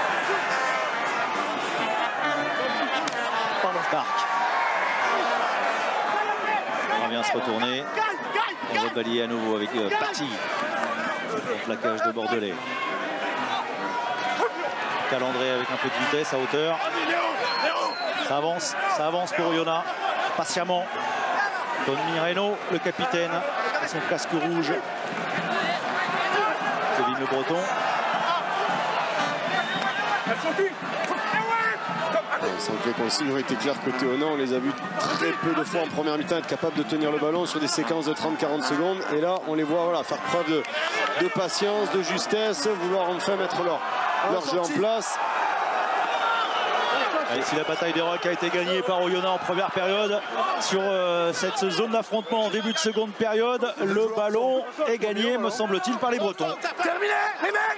Un turnover en faveur de Vannes, il n'y en a pas eu beaucoup durant ce match. Ouais, c'est peut-être même le premier du match et c'est aussi une des premières indications. Nul doute que les, les corrections ont dû être amenées sur ce secteur de jeu en première mi-temps de la part du staff breton. Tant ils ont été dominés sur, sur chaque ruck et tant ils ont euh, justement permis à cette équipe de Yona de retrouver de l'énergie. Et là, c'est tout un petit symbole de les voir être les premiers à gratter ce ballon en deuxième mi-temps. N'a pas réussi à, à se saisir de, de ce ballon. À l'avant qui va en touche. On qu'il n'y a pas de soleil hein, sur euh, ce stade. Il y en a eu avant le La température est parfaite. Ça commence à ressembler à des phases Qu'est-ce qu'il y a, Romain? Je vous entends sourire. Non, non, oui, vrai, vous avez raison. En plus, le, le synthétique fait qu'il fait chaud au bord de la pelouse, malgré le fait qu'il n'y ait pas de soleil. euh, C'est vrai, ça commence à sentir la phase finale. C'était pas le cas à Mont-de-Marsan, par exemple, le week-end dernier. Pas vraiment. Et on vous rappelle que la finale, c'est la semaine prochaine, samedi prochain, 21h euh, sur Canal. La finale de Pro D2 à Toulouse. Qui de Vannes ou d'Oyonnax sera le premier qualifié pour la finale Il y aura Grenoble-Mont-de-Marsan également ce soir, 21h05. Romain, vous le rappelez à la mi-temps. Jouez le 9. On va dire un carré euh, royal. Vannes qui a terminé cinquième cette saison en Pro D2, mais qui a réussi l'exploit d'aller gagner à Nevers, donc en barrage. Du bout des doigts, a réussi à conserver cette balle. Henri Grice. Henri Grice, il avance toujours, il perd jamais le ballon. Le 9. Ouais, homme tellement important de, de cette saison que moi j'avais pu côtoyer à Grenoble à l'époque où il était arrivé sur la pointe des pieds, personne ne le connaissait. Lui qui était, le, qui était Baby Black, qui avait fait une saison exceptionnelle. Et depuis quelques années, on le voit faire le bonheur absolu de, de cette équipe de Yona. On va avoir bien en avant, mais bon. Ballon conservé par les Vantais. Et là, il y, a- il y a du défi hein, physiquement. Euh, il y a moins d'envolée que euh, lors de la première période, mais le ballon est toujours dans l'air de jeu. C'est du défi, énormément de défis physiques avec un Justin Bourreau qui n'a pas mis le genou au sol. Et derrière, Gavin Stark est venu aider. Ballon non, volé. Ballon volé par les Vantais. Bastardi. Euh, En première mi-temps, on était sur deux équipes qui jouaient autant. Là, on est parti. On a monté encore le, le curseur en termes d'intensité. Ah, Parce que là, sur le plan euh, physique, c'est très très énergivore. Ce à quoi on assiste actuellement. Nathanaël Huleux. Ah, il tend le bras pour éviter le Loïc Credos dans le rock. Calandré. Un des meilleurs franchisseurs de cette Pro D2. Aurélien Calandré. Henri Grace, on vous disait, c'est le meilleur avant dans ce secteur de jeu. Alors quand on parle de jeu énergivore, que dire de celui de Henri Grace? Et puis surtout cette première séquence où le ballon s'est quasiment pas arrêté depuis le, le coup d'envoi de la deuxième mi-temps. On a des jeux au pied où les deux équipes veulent, veulent pas ou peu sortir le ballon. Par contre, beaucoup de, de patience. Maintenant, on sent aussi que les organismes commencent un petit peu à, à souffrir. On monte de façon moins énergétique. On voit commence à avoir les premières mains sur les genoux. Et ça aussi, ça va être un des, un des premiers secteurs. Quelle va être la, première équipe à bénéficier de cet avantage, à aller mettre à mal son adversaire Allez, ça devient dur, ça devient dur. On a vu du qui a allongé derrière. Sweetnam lui a répondu. Le ballon toujours en jeu. Et on insiste avec euh, Darren Sweetnam, néerlandais. Il y a du chaos, il y a du chaos dans l'air parce qu'on sent les organismes touchés. C'est Gwenaël Duplaine qui a capté ce ballon, qui parvient à se retourner. Il est toujours disponible. Il est toujours pour les Vanté. Bordelais. Les avants, eux, il a fallu qu'ils se replacent, qu'ils reculent. Peut-être aller chercher une touche. Oh, le ballon contré. Le ballon contré. Derrière récupéré par Nathanaël Huleux. Je vous dis qu'il y a du chaos dans l'air. Oh. Ballon échappé. Et derrière lui. Il a laissé le ballon échapper. Et il est rendu. Il est rendu à Oyonnax. Fin d'une séquence énorme en ce début de seconde période. Et oui, la grimace de Rory Grice. C'est dur, c'est très dur physiquement. Ouais, vous voyez, les, les Oyonnax, ils s'y trompent pas, ils lèvent les bras. Alors, ils n'ont pas marqué un essai, ils n'ont pas marqué de points, mais par contre, cette situation dans les, dans les têtes, voilà, dans des matchs, vous avez des, des temps forts, vous avez des tournants, vous avez des, des points clés. Et cette euh, action de plus de 3 minutes 15, imaginez la, la séquence, 3 minutes 15 de jeu, c'est juste monstrueux sur ce, ce synthétique un peu fatigant qui termine à l'avantage des, des Oyonnax. C'est eux qui gagnent ce, on dire, ce premier allez, ce premier round au, point sur ce début de deuxième mi-temps. Et dans les têtes, ça va énormément compter. Et derrière, en plus, on repart par quoi Une mêlée. C'est ce que je veux dire. Clarifier le tout, nul doute que va être les sympa, cette Oyonnax, mêlée. avec le public qui pousse, va appuyer parce que ça pourrait être un des premiers tournants de ce deuxième mi-temps. Ça va être sympa cette mêlée à discuter parce que là, les organismes ont été touchés. Mais, mais alors que Théo Millet s'apprête, hein, ils sont prêts, comme Justin Beau, à aller euh, chercher ce ballon et profiter du moindre espace. Une mêlée stable, un lancement de jeu, le ballon dans les pieds de Rory Grasse, la 89. Théo Millet avec euh, derrière Chris Farrell, l'Irlandais. Grace, non, c'est euh, Félix Batty. Cassant, le Breton. Le Breton qui continue d'avancer. Ballon toujours disponible pour les Oyomènes. Ils ont pris l'avantage pour la première fois à la 36e minute du match. Mais la bataille des rugs qui était à l'avantage d'Oyonnax en première période est en train de complètement s'inverser en ce Il n'y début a de pas d'avancée, ça tombe de suite, Ouais, le ballon pour- est disponible. On a un début de deuxième mi-temps qui est totalement inversé par rapport à la première où les Vantés tenaient le ballon. Là, c'est les blanc, gratteur en Les position. Oyonnax mettaient une garde féroce dans les rucks. Là, c'est les Vantés qui ont inversé un petit peu la pression. Mais à quel prix? Parce qu'on voit quand même les, les organismes qui commencent à souffrir. On parlait tout à l'heure de, de l'importance de la charnière. Et là, justement, c'est Michael Rourou qui va venir s'employer dans ce rug pour, pour récupérer ce ballon tellement important. Dans son équipe était sur le reculoir depuis, depuis 30 secondes. Et ce bol d'oxygène, ils vont le prendre avec un immense plaisir, les Bretons. Voilà, on voit le, redé- le démarrage de, de Thomas Laclaya qui va faire ce pick and go, ce jeu dans l'axe. Et là, voilà, Michael Roux qui va mettre les mains sur le ballon. Noir ici. Les premiers soutiens vont être Ah, légèrement en retard et ça va être récompensé par, par M. Ramos. Et la bonne nouvelle, c'est que Thomas Laclaye est bien là et il a bien récupéré depuis tout à l'heure de la première période. Cette équipe de Yona qui n'a plus gagné une demi-finale depuis 2009. C'était à l'extérieur, c'était à Agen. Il le sait, Fabien Cibré. Cette année, ils ont tellement survolé la Pro D2. Ils ne peuvent pas se lou- louper cette formation qui est montée de, en Pro D2 en 2003, il y a 20 ans. Il y a beaucoup d'expérience donc dans ce championnat avec un gros coup de pied de la Fage sur Star. La relance de Star. Joueur qui chute. Tombé au sol, donc il n'y a pas de faute euh, de Bordelais. Attaquer la zone arbitre. Dernier pied. Et le jeu au Jouer pied le neuf. pour inverser la pression. Renvoyer le, le ballon dans la moitié de terrain adverse. Obligé à, à être concentré sur la, la prise de balle dans les airs. Et c'est un en avant de la part de Duplaine. Derrière, le ballon qui n'est pas contrôlé. Moi je me disais qu'il y a du attention. Quelle, quelle lucidité de la part de Duplaine. Quelle lucidité pour euh, prendre ce ballon, se relever, éviter Calandré. Ah, il fallait faire preuve de, de sang-froid parce que ça arrivait de partout. Vous êtes tourné, vous avez tous vos soutiens devant. Il faut être capable de patienter quelques secondes. Il a fait preuve d'énormément de, de justesse, mais comme vous disiez, ça, ça sent le chaos. Les espaces commencent à s'ouvrir, on a des turnovers. On voit aussi les, les Eumen par la qualité de leur jeu au pied de pression. Ils, ils donnent rien de gratuit au, au Banté. Ils les forcent à rester dans ces 30 mètres. Et un ballon sur deux, on le sait, quand vous tapez des jeux au pied de pression, c'est du 50-50 à chaque fois. Et là, le 50-50 est en train de tourner à, à l'avantage des blancs. Et vous avez vu que Michael Rourou n'a pas hésité cette fois-ci à aller chercher la touche. Décale un peu s'il te plaît. Vincent. Pourquoi Ouais, ils le savent, le une 20 équipe cette sur la fraîcheur physique va être un des, un des secteurs importants. Et du changement justement pour euh, la fraîcheur physique dont vous parliez, messieurs. L'entrée Théo Bézier à la place de Cyril Blanchard. Ah, L'entrée également de Charles-Henri Berguet à la place euh, d'Andy Bordelais. Et c'est Léon Boulier aussi qui sort en troisième ligne, auteur d'une très belle saison euh, avec Van, l'une des révélations de la saison côté Vanté, remplacé par l'expérimenté Karl Château en troisième ligne. Finale avec Colomiers, avec Perpignan notamment. Et quel André Repris par euh, celui qui vient d'entrer, Théo Bézia. Mais le ballon conservé, Cassan. Johnson s'en fait toujours euh, coéquipier sur le dos. Si les Vantés se sortent de cette euh, période de jeu sans prendre d'essai, ils pourront retrouver peut-être un peu d'énergie. Mais là, ils sont quand même mis au, au supplice par Loïc Credos et ses coéquipiers. D'essai sans prendre nos points. Déjà, ce serait exceptionnel parce que pour moi, la, la domination, elle est. Ouais, Farrell, Farrell il est passé Farrell qui va trouver Stark Le retour intérieur de Kevin Stark Plaqué aux jambes dans les 22 mètres. C'est pas pour Fabrec, c'est pour la Claya. C'est pour Teddy Durand désormais. Cassan avec Chris Farrell. Farrell qui avance, qui est stoppé à 2 mètres de la ligne.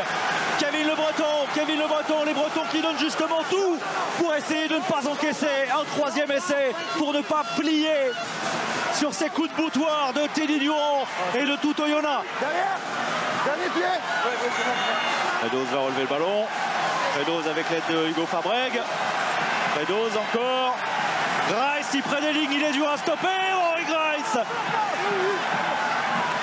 Quelle défense de Van Est-ce que cette défense va craquer? La Claya sur le dos ne peut pas se retourner. Quelle séquence encore à poser Comme vous dites, quoi, quelle séquence, mais quel héroïsme de la part des poteaux. La question, c'est combien de temps ils vont être capables de durer parce que ça devient tellement dur, ça devient tellement éreintant. On voit les organismes souffrir et je peux vous garantir que quand vous, a- vous accumulez la puissance de Fabrec, de Grice, de la Claya, Trois blagues, voilà, je de Grice, de, également de. J'en perds mes mots tellement qu'il y a d'intensité, de Chris Farrell.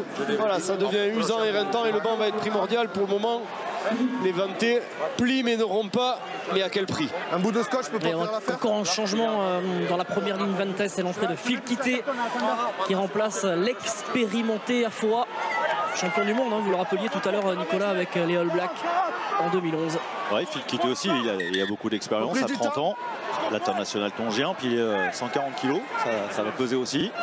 Dans l'axe droit de cette, cette mêlée.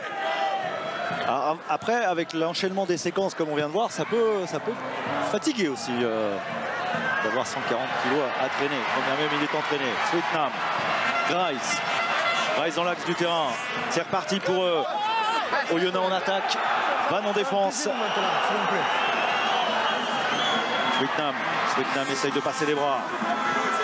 Le soutien de Justin Beau, bon déblayage de l'ouvreur d'Oyonnax. Le capitaine Tommy Reno. Avec Bati, la Claya. Non, On voit les Illumen venir sur un jeu plus direct. Vous les voyez, c'est un jeu à une passe. Et derrière, Oh, elle en avant de Justin Beau. Il même pas tenté un drop de 50 mètres parce qu'il en a quand même claqué, euh, tenté 8 cette saison. Il en a claqué 3. 3 qui sont passés au milieu des poteaux. Risque d'être remplacé parce qu'on voit Jules Soulan. Ouais, C'était prévu avant, hein, c'est pas suite à l'en avant, bien sûr, ça fait une sanction. L'entrée de Jules Soulan euh, qu'on avait vu, Nicolas, très très concentré en avant-match. C'est son moment maintenant, cette dernière demi-heure, à lui aussi de peser par son jeu au pied pour aller offrir la finale à Oyonnax. Justin Bourreau, 25e match aujourd'hui. hein. Énorme saison de la part du jeune ouvreur de 20 ans. ah, puis ce sont des matchs qui vont, qui vont co- compter dans la construction d'une jeune carrière, d'un jeune ouvreur. Et on a des vu les matchs mots pression. importants, hein, des réconfortants aussi de Joel Abd euh, à la sortie de son jeune ouvreur. Oui, parce qu'il a peut-être euh, l'impression que euh, c'est dur pour lui parce qu'il vient de commettre un en avant. Donc il y a cette mêlée au centre du terrain, mais il n'a absolument pas démérité. Et si Oyonnax est là aussi cette saison, à cette place, il y est pour quelque chose. Justin Bourreau, Jules Soulan également, hein, le joueur formé du côté d'Agen. donc c'est pour ça que je laisse le la chien. blessée, il a besoin de donner de la confiance à son ouvreur parce que Jules Soulan a fait quand même on va dire un sprint formidable pour pouvoir revenir et postuler aujourd'hui depuis trois mois où lui avait cette blessure, où il n'était pas sûr de pouvoir jouer les phases finales et l'objectif c'est cette date aujourd'hui. Il est sur le terrain mais il y a quand même certaines incertitudes à la suite de sa blessure. Maintenant est-ce que sa blessure va tenir? Est-ce qu'il va tout valider? Parce qu'il y aura peut-être un match encore la semaine prochaine. Vous êtes à l'extérieur. Et donc il a besoin de garder en confiance son, son jeune ouvreur parce que c'est tellement long une montée, c'est tellement long une phase finale, c'est tellement long une demi. Mais imaginez, euh, on vient de voir Gorissen là, qui, euh, qui a tardé à se relever. euh, le capitaine de Vannes, lui, c'est son 31e match. Euh, tout comme d'ailleurs Maxime Lafage, 31 matchs pour les deux hommes. Alors pas titulaire à chaque fois, mais presque. hein. 28e titularisation pour le capitaine Vante, que vous voyez ici avec le numéro 7. Le blond, le capitaine, l'Argentin Francisco Gorissen. La mêlée qui tourne une nouvelle fois. Et encore pénalisé pour la troisième fois. La démonstration de, de force de la part des Géomènes et on ne se trompe pas. Vous voyez Thomas Laclaya, c'est quelle puissance, quelle détermination et c'est vraiment la, la clé de voûte tellement importante. alors bien sûr sur les mêlées mais également dans, dans tout le jeu. On le voit omniprésent, extrêmement utilisé. Et de suite Jules Soulan qui va tenter de, de récompenser, de valider le, le travail des hommes forts sur cette mêlée de là. Oui, parce que ça fait un quart d'heure que la, la seconde période a débuté. Il n'y a pas eu de point. Il n'y en a qu'un point d'écart entre les deux équipes. Un seul petit point après 55 minutes de jeu. Choix audacieux, euh, 50 mètres déjà, et la distance et un léger vent qui va souffler contre le buteur euh, d'Oyonnax. Donc il faudra en mettre un petit peu plus sur ce coup de pied. L'année dernière, cette équipe d'Oyonnax qui s'était inclinée en demi-finale à Bayonne 32-20.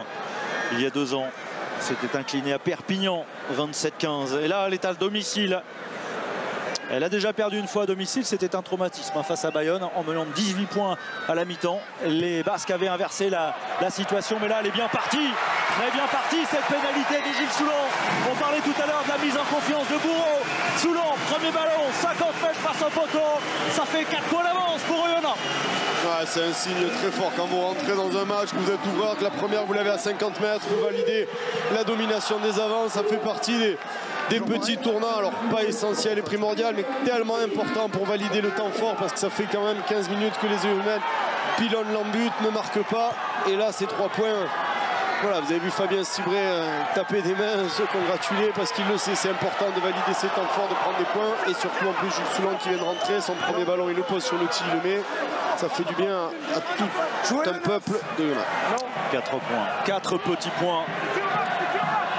Mais c'est pas suffisant pour euh, déjà prendre les billets pour Toulouse. Pour la finale la semaine prochaine. Du plein. Il aimerait prolonger l'aventure évidemment. Car l'équipe qui va s'incliner aujourd'hui sera en vacances à l'issue de ce match. Quelle qu'elle soit, elle l'aura bien mérité. Elles auront été méritées ces vacances. La Fage. Pression, comme vous disiez, 50-50. Allez, c'est Sweetman qui s'est imposé. Il y avait Soulan, il y avait également euh, Théo Millet. Rice avance à chaque impact. Je ne cesse de le répéter, mais Ouais, Grace, Laclaya, c'est vraiment des, joueurs qui ont un rayonnement incroyable en mettant ces hommes forts sur ces grands matchs et pour le moment ils, répondent parfaitement. Derrière vous y ajoutez la, la justesse technique, la justesse stratégique, de ne pas se tromper, de jouer dans les bonnes zones, de, voilà, de mettre des jockeys une fois de plus, il y aura du 50-50 dessous, il y aura de la pression. Voilà, tous ces secteurs font que c'est autant d'énergie qui est en train de se créer cette équipe Yona. quitté.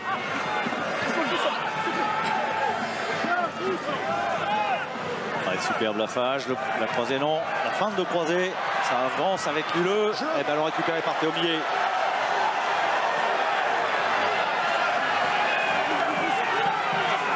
Non, non, non, non, non.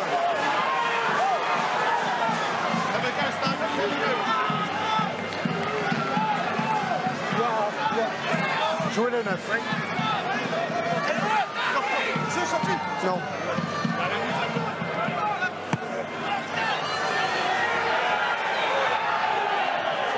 La Fage. Et Karspark, le ballon conservé par Van.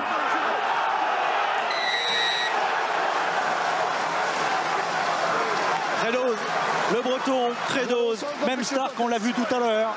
dans les rocks quand il pose les mains. Vous allez directement au sol, empêche le contest. Très, très compliqué pour les, les coéquipiers de la faille. Oui, Monsieur Ramos qui reproche au premier soutien inventé de plus être sur ses appuis. Voilà, de tomber. Et derrière, là, le bon rock de. Le bon grattage de Credos qui récompense, on le dit, c'est jeux au pied. Quand ils sont bien tapés, quand il y a de la pression dessous, quand vous êtes le premier, vous arrivez vite à mettre au sol si vous ne pouvez pas contester. Il se passe toujours quelque chose après. Soit vous forcez l'adversaire à employer, vous voyez, 3, 4, 5, allez, vous voyez, 1, 2, voilà, le troisième reton qui va arriver ainsi de suite. Sauf que si vous n'êtes pas assez efficace, si vous perdez vos appuis, vous vous exposez à, à une pénalité et surtout à la botte de cet homme, Jules Soulan, qui a, qui a réussi la première et qui pourrait donner un petit avantage, non pas définitif, mais quand même primordial sur la suite de ce match. Jules Soulan et Oyonnax qui ont un statut à assumer. Une saison de Pro D2 survolée. Et c'est 32 matchs lorsque vous avez terminé premier. C'est 32 matchs pour euh, monter en top 14, retrouver l'élite, espérer. Euh, Soulan, une entrée parfaite. 6 points en l'espace de 3 minutes pour Jules Soulan. Porte l'avantage désormais à 7 longueurs, 21-14 pour Oyonnax. Nicolas en vitesse avec euh, Joel Abd. On sent que physiquement, vous êtes en train de, de prendre la main sur cette rencontre, Joe. Ouais, je sais que c'est un vrai, un vrai euh, bras de fer. Il faut qu'on reste dans cette bataille et gagner ces duels qui durent 1, 2, 3 minutes. Euh, si on peut faire ça jusqu'à la fin, ça va être bien. Merci beaucoup, Joe. Alors rentrez Rennes va devoir très vite marquer pour euh, rester dans cette demi-finale. Ouais, ou au moins rester à, à portée d'un essai pour arracher un match nul, pour s'offrir une, une possible dernière action, parce que le 7 points n'est pas. Bon oui, on a vu des renversements plus improbables que ça. Ouais, bien sûr. Mais après, il va falloir que Levante arrive à, à remettre la main sur le ballon, arrive à retrouver de l'énergie, arrive à aussi aller se porter dans les 30 mètres adverses, parce que depuis le début de cette mi-temps, c'est c'est quelque chose qu'il n'arrive pas à faire.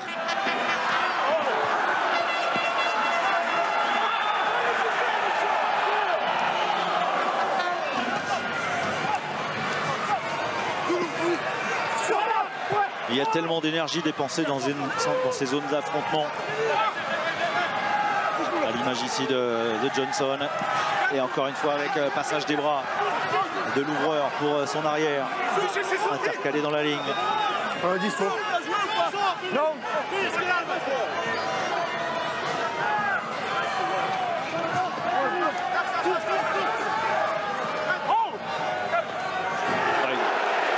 Ça aussi, ça aussi c'est symptomatique. Ce plaquage offensif de Rory Grice pour récupérer le ballon avec Credos derrière, l'enfant du pays. Loïc Credos de Montrével-en-Bresse s'est formé au club avec le coup de pied de Théo Millet. Est-ce que ça va être trop long? Ah ouais, Il n'avait pas le temps, il n'a pas eu le temps d'attendre euh, Gwenaël Duplaine. Ça va être un renvoi d'en but. Ouais, quelle énergie, quelle énergie pour pas gagner un mètre de terrain, quelle énergie pour prendre ce, ce gros plaquage, derrière venir se faire cro- croquer parce qu'on voit le, le gros plaquage de Grace, mais derrière l'action n'est pas finie, il se relève, il vient gratter. Allez, une séquence d'une minute pour les 21, on n'a pas réussi à trouver d'avancée, on va même perdre le ballon et on va se retrouver avec un renvoi d'en but. Derrière le moteur Et tout est à refaire et encore une bonne possession pour les Oyonnax. Et dans une bonne situation surtout. Et Grice encore, infatigable le néo-zélandais.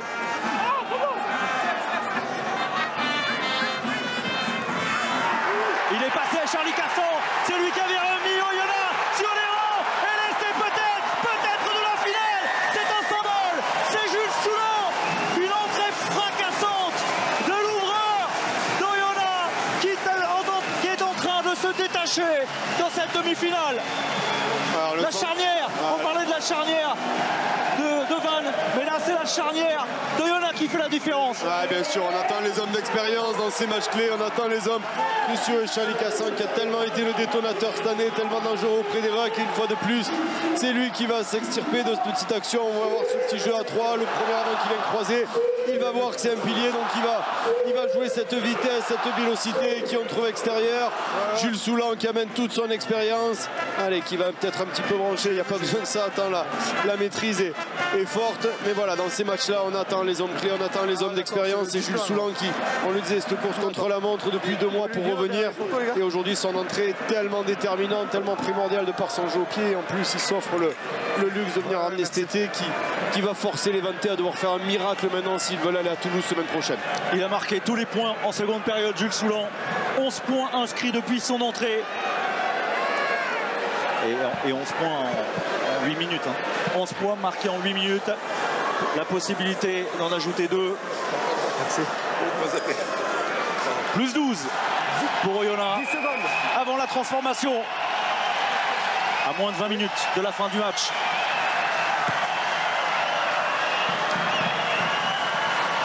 Passe pas. Premier échec. On en reste à plus 12.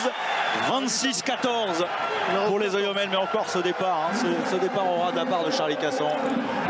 Et la conclusion du demi d'ouverture. Entrée il y a de cela quelques minutes. Toulouse se rapproche pour Oyonnax. Ils ont déjà disputé une finale dans leur histoire.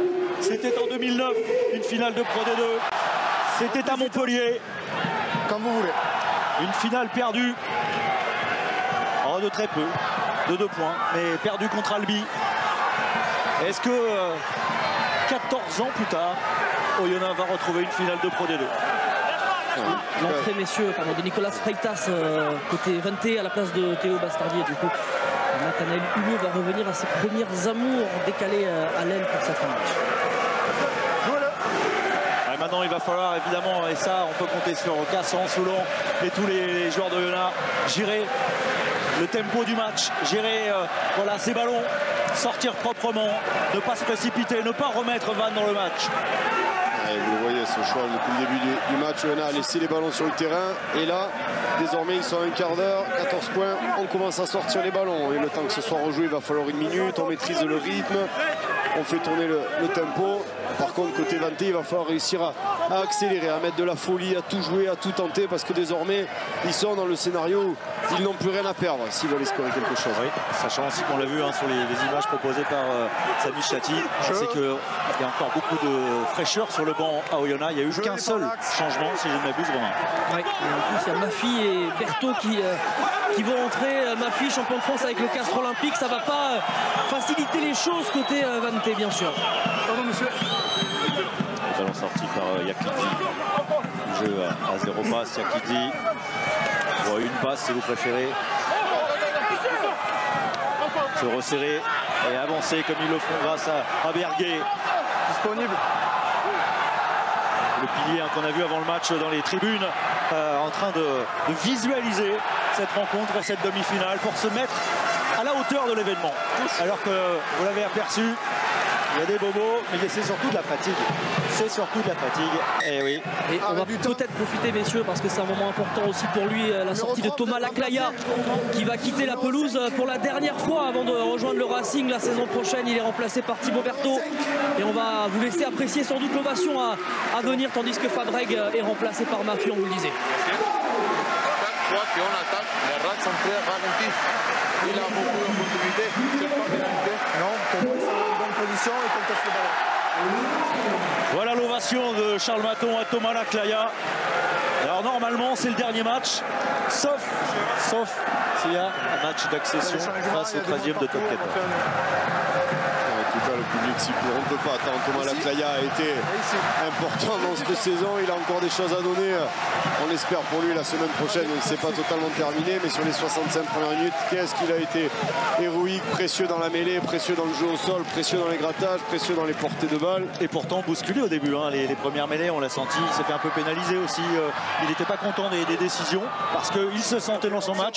La mêlée de, de Yona avançait, mais lui, il était un petit peu pointé du doigt par l'arbitre. Mais bon, 12 essais, euh, une saison extraordinaire. Il a rejoint le groupe France. euh, il, est, euh, il, a, il a vu ce que c'était que l'équipe de France euh, de près. Donc euh, une saison magnifique. En vitesse justement avec Thomas Laclaya. euh, L'émotion d'abord Thomas, pour vous, à titre personnel, c'est peut-être la dernière fois que vous foulez cette pelouse avec euh, Oyonnax. Ouais, bien sûr. C'est un gros match pour finir. Après, le match n'est pas fini. Je m'apprête à, à rentrer s'il le faut, mais pour l'instant, on est en train de faire un beau résultat. Il faut qu'on tienne. On a réglé un petit peu la, la discipline. Maintenant, il faut qu'on tienne le ballon et, et qu'on joue comme on sait le faire pour pas se mettre en danger. On vous laisse profiter des dernières minutes. Merci Thomas. Ah, il Il est encore dans son match, Thomas Laclaya. Mais c'est vrai que plus le temps tourne, plus le chrono tourne, plus Oyonnax se rapproche de Toulouse. Un quart d'heure encore avant de se diriger vers la Ville Rose pour la finale de Pro D2 samedi prochain. Sa deuxième finale de Pro D2, 14 ans après celle disputée à Montpellier et perdue face à Albi. Si ma mémoire est bonne, il y avait d'un côté Christophe Furios sur le banc, de l'autre côté, je crois que c'était un homme qui s'appelait Eric Béchu. Ça remonte pas hier, mais c'est quand même des, des hommes emblématiques de notre sport. Et, et pour un peu de souvenir, ça s'était joué à la 83e sur une pénalité à 57 mètres. Ah, Ils s'en souviennent, Oyonnax, mais bon, 14 ans après, tout est à, refaire. L'histoire est à, écrire tout simplement pour Oyonnax. Avec Gorisen et Levante qui n'ont pas encore rendu les armes pour les 13 dernières minutes. Ils ont livré de nombreux, de très nombreux combats cette saison, les, Bretons. Ils ont été vraiment à la hauteur de l'événement en première période. Le ballon sorti.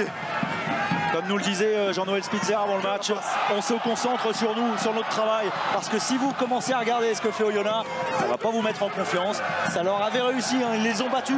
Ils font partie des équipes qui ont battu Oyonnax. Mais c'était au stade de l'Arabie. On est loin des 50 points pris au mois d'octobre ici. En tout cas, ce qu'ils sont en train de faire, c'est positif. On les voit mettre de la patience, on les voit tenir le ballon, on les voit réussir à remettre des séquences. Ça peut être une des clés pour espérer quelque chose. Maintenant, il va falloir que ces dominations arrivent à, se concrétiser par des points, à scorer. Parce que si vous ne scorez pas, vous ne retrouvez pas d'énergie, vous êtes en danger. Ouais, mais regardez, ça avance, ça avance avec Edwards. Et puis maintenant Théo Bézia, c'est la ligne des 22 mètres. Karchato qui cherche une solution. Entrée dans les 22 mètres, attention relâchement pour Oyonnax, ne pas se faire peur sur la fin de match avec euh, Andrés Villaseca. Ballon disponible, arraché, arraché par Stark. À la lutte avec Nathanaël Hulot. Ah, ça, c'est de la lutte, vraiment. Greco-romaine. Après, c'est vrai que c'est vraiment des, des points de rendez-vous où on peut trouver de l'énergie, où on peut gagner un match en perdant un. Et, et on le voit, les, les Vantés qui veulent pas mourir comme ça, qui veulent jusqu'au bout vendre chèrement leur peau. Et pour le moment, une fois de plus, cette longue séquence, ça se finit par un ballon gratté, perdu. Et derrière, un jeu au pied de des très très très grande qualité de la part de Cassan qui va ramener les débats sur la, la ligne des 50 et refaire tourner la montre et sortir le ballon. Mets-moi une équipe sur la ligne, s'il te plaît. En tout cas, cette équipe de Lona, pour moi, est en train de, de faire preuve de, de puissance, de solidité, de rudesse. Et on les voit être capables de, de souffrir sur des séquences longues où les Vantés tiennent le ballon. Mais cette possession est malheureusement bon, trop bon, stérile. bon. Ah, J'ai vu, j'ai vu. Ah non, lui, j'avais pas vu. Joël Abd, Fabien Cibré l'ont annoncé en début de saison alors que Gabriel Lovo-Balavou s'apprête à entrer. L'objectif, c'est la montée. L'heure. Mais pour monter, il faut gagner la demi-finale, il faut gagner la finale ou le match d'accession. Remonter en top 14, un top 14 qu'Oyonnax n'a plus connu depuis euh, la saison 2016-2017. Qui gêne l'action des soutiens au départ. Et là, Rory Grice est pénalisé. Il a Le tellement donné. maîtrise. Il a tellement donné durant soutiens, 70 et le huit minutes. qui se jette. On peut lui pardonner cet excès d'enthousiasme. Il était tellement dominateur et impressionnant ce secteur que là, le choix de M. Ramos, c'est le bon. Le bon, même s'il a, il peste un petit peu. Voilà, on va le voir. Vous voyez le numéro 8 qui va arriver. Et là, hop, il va venir se jeter sur le ballon. Ah, il semble être sur ses appuis, même s'il est un peu en travers. Derrière, il va perdre ses appuis. Il aurait dû lâcher le ballon. Oui. Et il était là encore. hein. Il était- il, il était encore là, voilà, c'est ça. Vous l'aviez vu, Nicolas, l'entrée de la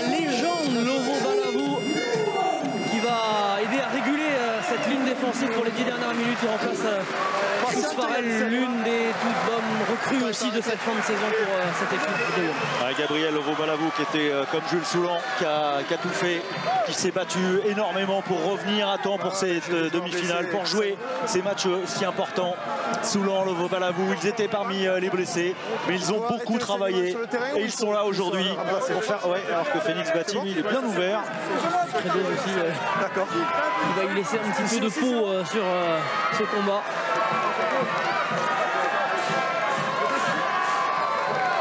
Oui, la dernière euh, saison en, top 14, c'était 2017-2018 pour, euh, pour. Mais ils n'y sont pas encore en top 14 parce que Il faudra, quoi qu'il arrive, si euh, le succès se confirme aujourd'hui à 10 minutes de la fin du match, il faudra gagner la finale la semaine prochaine à Toulouse.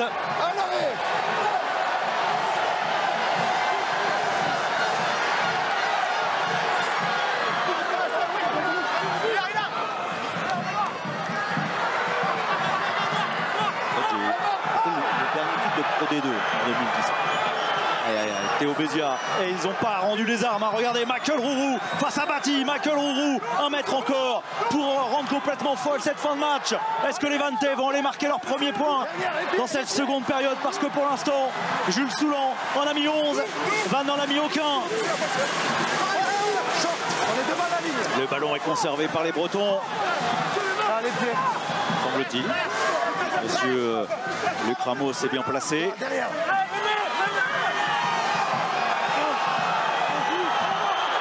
Ce ballon.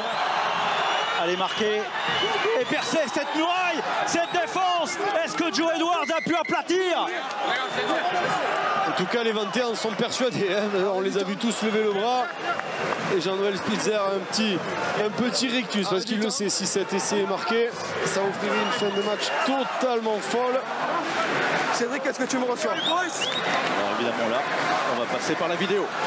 Cédric, est-ce que tu me reçois? Ok, je n'ai pas le toucher à terre. Je ne vois pas le toucher à terre, donc est-ce que tu peux me montrer une, une image claire du toucher à terre? Ce qui sous-entend- des blancs ce qui sous-entendrait. C'est ça, je n'ai pas de décision de terrain. Je voilà, ne vois pas pas le de toucher à décision de terre. terrain. Est-ce que tu peux me montrer une image claire du toucher à terre, sinon on repartira par un renvoi d'un but.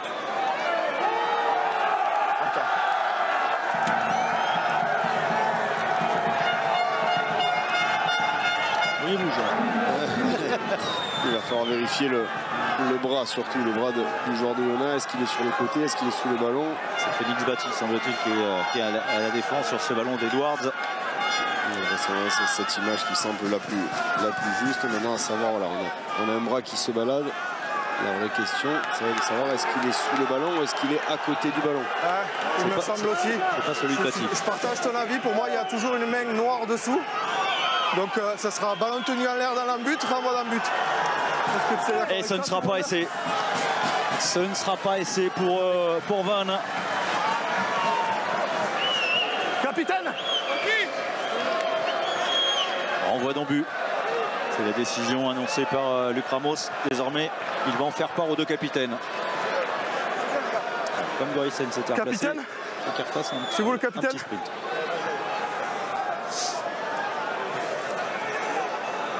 Je vous explique la décision. Le ballon est tenu en l'air dans l'embut, donc ce sera renvoi d'un but. Et il était sûr de lui, pourtant Gorisen. Laissé refuser. Ah, il n'est pas validé tout simplement, plutôt parce qu'il n'y avait pas essai. Le bras en dessous. Ah, La question a eu son importance parce que M. Ramos s'en est remis totalement à l'arbitre vidéo. Comme il l'a posé dans sa question, j'ai aucune image, donc à toi de décider. Et comme il n'y a pas de- Ah, Regardez Cédric. d'image franche, Casson, Qui harangue le, public de Charles Maton.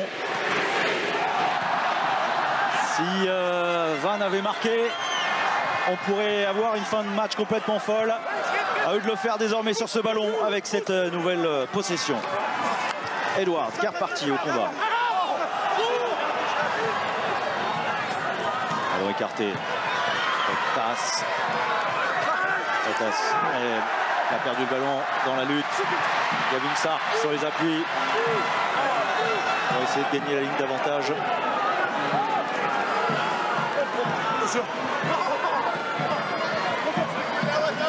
Moi, je ne vois pas de contact à la... Stop, stop, stop 12 points d'écart. 12 points d'écart. Dernière 8 minutes à jouer. 7, 7 Il faut de toute façon marquer deux fois. Jouez les 9, du rythme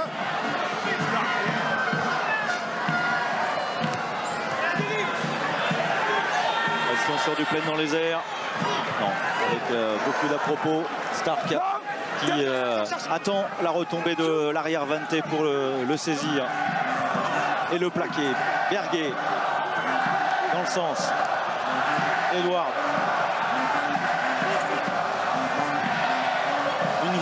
Une vraie, une vraie belle demi-finale de Pro D2. On vous rappelle que ce soir, Grenoble-Mont-de-Marsan, c'est à 21h. Là aussi, ça promet. Ça promet beaucoup d'incertitude et de jeu. en tout cas, pour cette première demi-finale, on est quand même gâté. On a un temps de jeu qu'il faudra vérifier. On disait les deux équipes étaient autour des 36 minutes de moyenne cette saison. Là, on va encore une fois pas en être loin. Et si ces deux équipes espèrent aller en top 14 avec ce qu'elles montrent aujourd'hui, on est, on est proche, voire même on est carrément dedans dans un match d'une intensité de top 14. Il y, a, de l'intensité dans le combat, dans les rucks, dans les séquences sont longues. Et on vit le vent, Romain. Oui, avec le retour, euh, c'est un faux départ finalement, puisque Thomas Laclaya euh, revient en jeu. L'entrée également de Benjamin Gélédan, l'expérimenté à la place de Teddy Durand. Entrée euh, également de Filimota au Fifenua. Et l'entrée aussi côté Oyonnax d'Antoine Abraham au poste de pilier gauche. Et Benjamin Gélédan 14 essais la saison dernière, 9 essais cette saison. Il s'était blessé et il n'était pas sûr de pouvoir disputer cette demi-finale, de revenir à temps lui aussi. Attendez qu'ils soient sortis. Il va pas se passer, Reprise du temps. Je crois qu'ils peuvent plus là. Oui, ça se voit. Tommy Reno, il en a plein les chaussettes. Et la prise de balle de Gorisen, le départ d'Edwards, il a libéré ce ballon pour Villaseca qui est arrivé plein de balles. Le ballon conservé par les Vanté. Karl Château au sol, derrière le relais. Un temps de jeu supplémentaire, c'était encore son capitaine.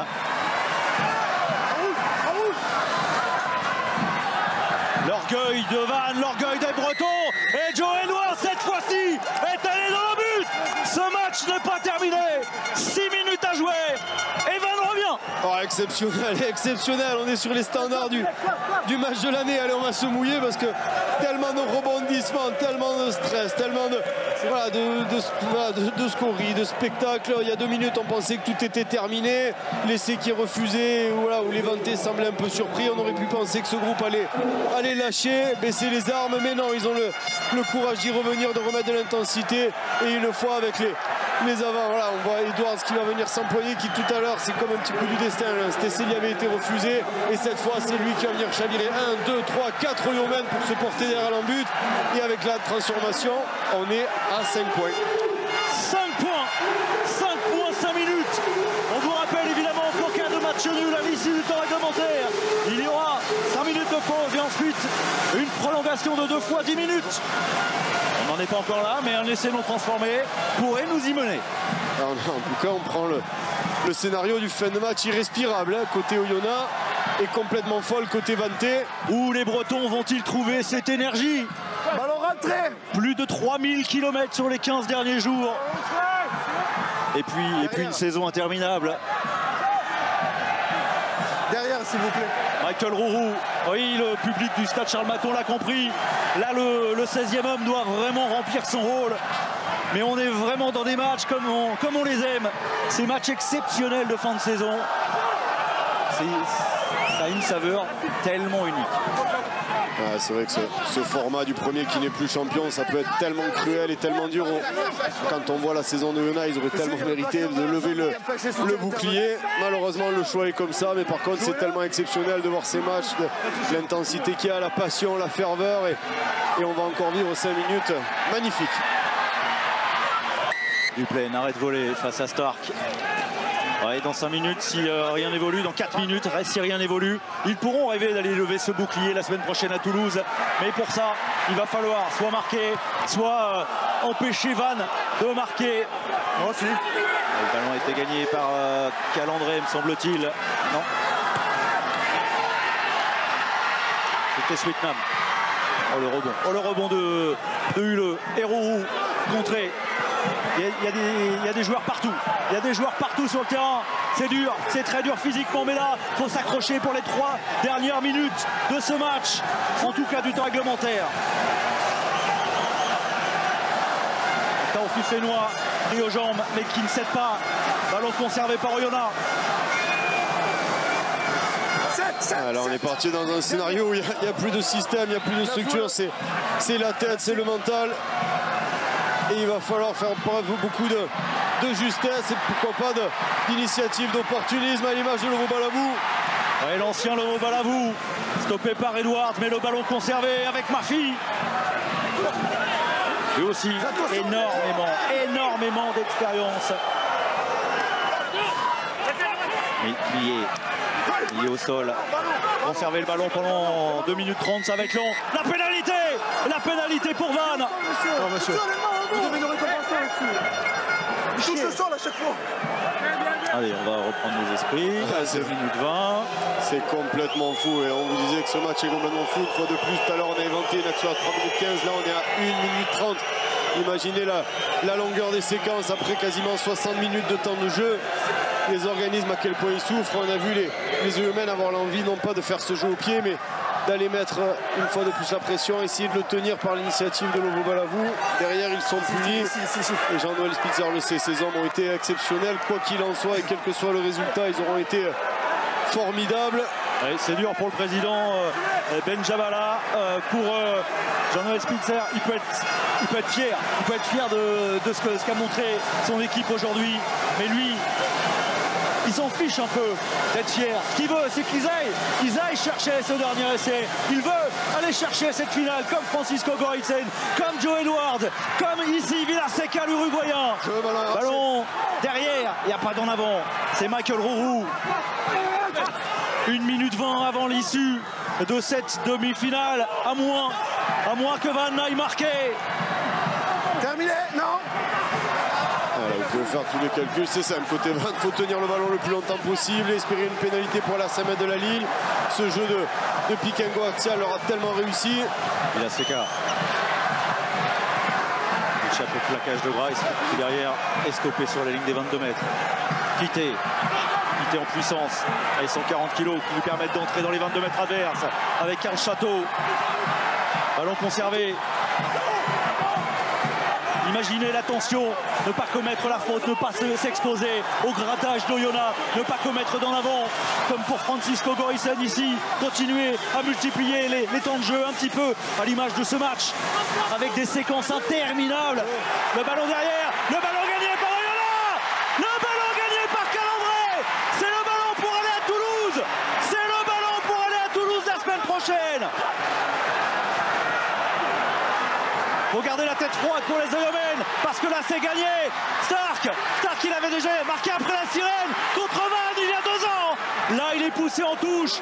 La sirène va retentir au stade Charles Maton. Il en reste une.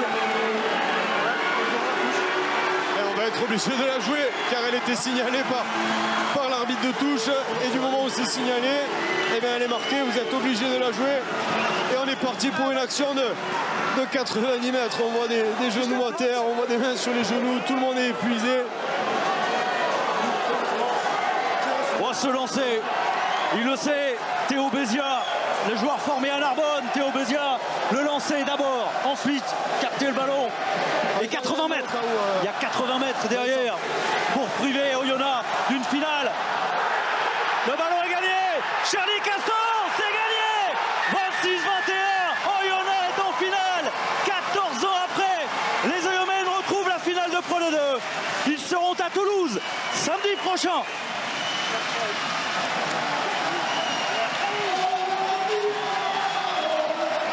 Quel match, quel match exceptionnel de la part des deux équipes. Parce que pour qu'il y ait un grand match, il faut qu'il y ait deux équipes. Alors oui, Oyonnax, logiquement, étant donné la saison, s'est qualifié pour la finale. Mais alors, pour qu'il y ait vraiment ce, match incroyable, il fallait une grande équipe de Vannes. On a même eu une très très grande équipe de Vannes, hein, tant tous les scénarios leur étaient défavorables. À la force du le courage, à la force du poignet, ils sont revenus une fois, deux fois, trois fois, à moins 12, on pensait que c'était terminé et on les a vus revenir. Quel match, quel match, quelle intensité. Et on va retrouver Romain. On va retrouver Romain avec Ouais, un des avec acteurs qui va être un, soulagé. des héros de l'après-midi, Charlie Cassan. euh, vous y êtes, mais que ce fut dur. Ils vous ont rien donné, hein, les Vantais, cet après-midi. Ouais, on savait que ça allait être dur, ils étaient dans une bonne dynamique. Euh, nous, on savait pas trop euh, où on en était parce que euh, on a géré euh, pour essayer de trouver un maximum de fraîcheur pour ce match-là. Et c'est toujours compliqué quand on sait qu'on est déjà qualifié en demi de, de rester motivé chaque week-end sur des matchs qui, pour nous, euh, ne servaient pas à grand-chose, entre guillemets. Puis c'est beaucoup de pression parce que ça fait, depuis que je suis à Rio, ça fait deux fois qu'on perd en demi. On commence à se dire on est maudit et, voilà, là ça fait du bien. Mais le boulot il n'est pas, il est pas fini, il y a la semaine prochaine. Et on se l'est dit en début de, début, début de saison que cette année c'était la nôtre. Et euh, le gagnant de ce soir, il va falloir qu'il s'accroche la semaine prochaine. 80 minutes, à 80 minutes du, top 14 euh, pour enfin, enfin y retourner. Euh, vous en brûlez d'envie, bien sûr. Eh ben, on a tous envie de jouer au plus haut niveau. C'est dur, c'est dur d'être en Pro D2, de voir, de voir les meilleurs joueurs évoluer chaque semaine en top 14. Et on a envie, on a envie de se frotter aux meilleurs. Et voilà, il faut, tout donner pendant 80 minutes, peut-être plus s'il y a prolongation. On se tiendra prêt à toute éventualité. Et, voilà, on espère que ce sera nous qui soulèverons le bouclier la semaine prochaine. Bravo Charlie, on vous laisse fêter, mais gentiment la victoire. Merci beaucoup. On se retrouve dans un instant avec Nicolas et Jonathan, le, le débrief de cette euh, demi-finale complètement folle. Les réactions aussi, c'est tout de suite. C'est l'équipe. On fait équipe On fait équipe. Absolument. Très bien.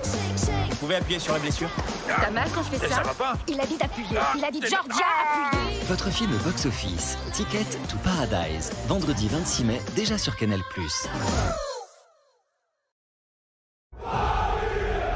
À chaque fin de saison, c'est le face-à-face qu'elles attendent toutes. Ce choc XXL, ce sommet de Den Arkema. Celui qui peut encore tout faire basculer. Le coup parfait réalisé par les joueuses de Gérard Préchard Préparez-vous pour le match du titre, la grande finale de la saison. PSG Lyon, demain à 21h en direct seulement sur Canal+.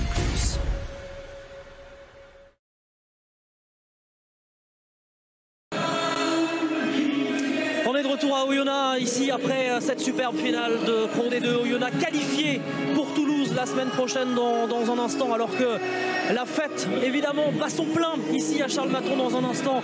Les réactions des perdants, les Vantés qui n'auront pas démérité cet après-midi. D'autres réactions aussi à venir mais avant cela messieurs on revoit tout ce qu'on a vu de bon dans cette belle après-midi après cette qualification d'Oyonnax. Oui Romain, ça va être euh, compliqué de voir tout ce qui était beau aujourd'hui parce qu'il y en avait tellement. Il y a eu tellement de belles choses. Et vous le disiez, euh, les Vantés n'ont pas démérité alors que euh, oui, est assourdissant dans le stade Charles Maton. Ils n'ont pas démérité pourquoi? Parce que ce sont les premiers à avoir frappé. Ils étaient dans une bonne dynamique. Jonathan Wisniewski, ça s'est vu, ça s'est clairement vu en première période. Ouais, ils étaient sur la dynamique de leur fin de saison, de leur victoire à Nevers semaine dernière et leur premier choix de ne pas prendre les points, d'aller en touche aurait pu s'avérer comme un aveu d'arrogance, mais non, il s'est avéré comme un aveu de puissance parce que ça leur a offert le 7-0. Oui, euh, c'est Blanchard, l'ancien d'Oyonnax qui a marqué. Et puis derrière, Charlie Casson, on l'a entendu tout à l'heure au micro de Romain Lafitte.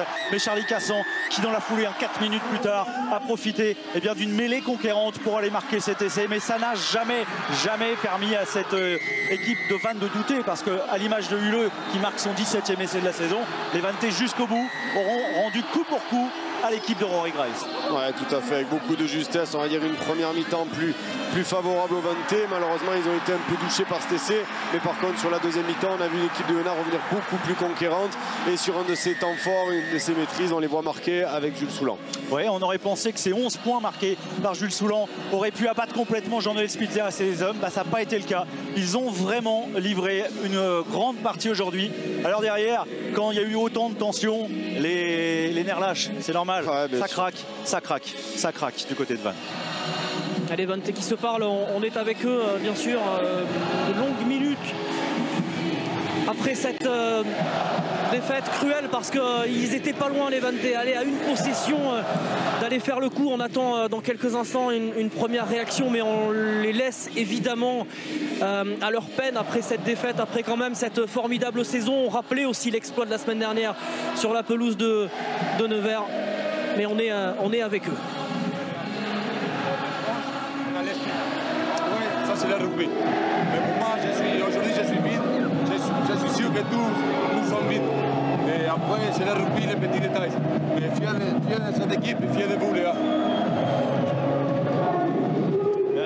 Les mots, du capitaine Francisco Gorisen. C'est pas facile dans ces moments-là, évidemment, euh, Jonathan. Mais il y a de la fierté. On sait que il y a la fierté hein, bretonne, mais là, vraiment, ils ont vraiment livré un- une partie exceptionnelle. Ils peuvent être extrêmement fiers de leur parcours et du match d'aujourd'hui parce que s'ils avaient réussi à, se projeter derrière la ligne dans les ultimes secondes, il n'y aurait pas eu de hold-up tant leur prestation a été de grande qualité. Après, on le sait, c'est des scénarios cruels parce qu'il y a toujours un vainqueur, un vaincu. Et quand c'est un vaincu de cette façon-là qui tombe les armes à la main, on comprend également toutes les larmes, la détresse et la douleur d'Evanté qui était venu pour, ouais, pour mourir au combat. On l'a dit, c'était un match de gladiateur soir, quel beau vaincu on a envie de dire, même si ça fait mal au cœur pour cette équipe bretonne. Oui, on a un beau vainqueur, on a un beau vaincu aussi, euh, Gwenaël Duplaine. euh, à une balle, à une balle, à une possession d'aller chercher cette, euh, cette finale. Il y a énormément de regrets, on l'imagine, mais sans doute aussi de, de la fierté de ce que vous avez montré aujourd'hui et tout au long de la saison. Ouais, forcément, il y a mois de juin- février, on était 11e. Et là, on échoue à un cafouillage dans un ruck. Fait chier parce que je pense qu'on a la balle de match. On a la balle de match pour aller gagner ce match. On y croyait. On savait que si on était dans le match euh, à la mi-temps, on savait que ça, ça pouvait faiblir en face.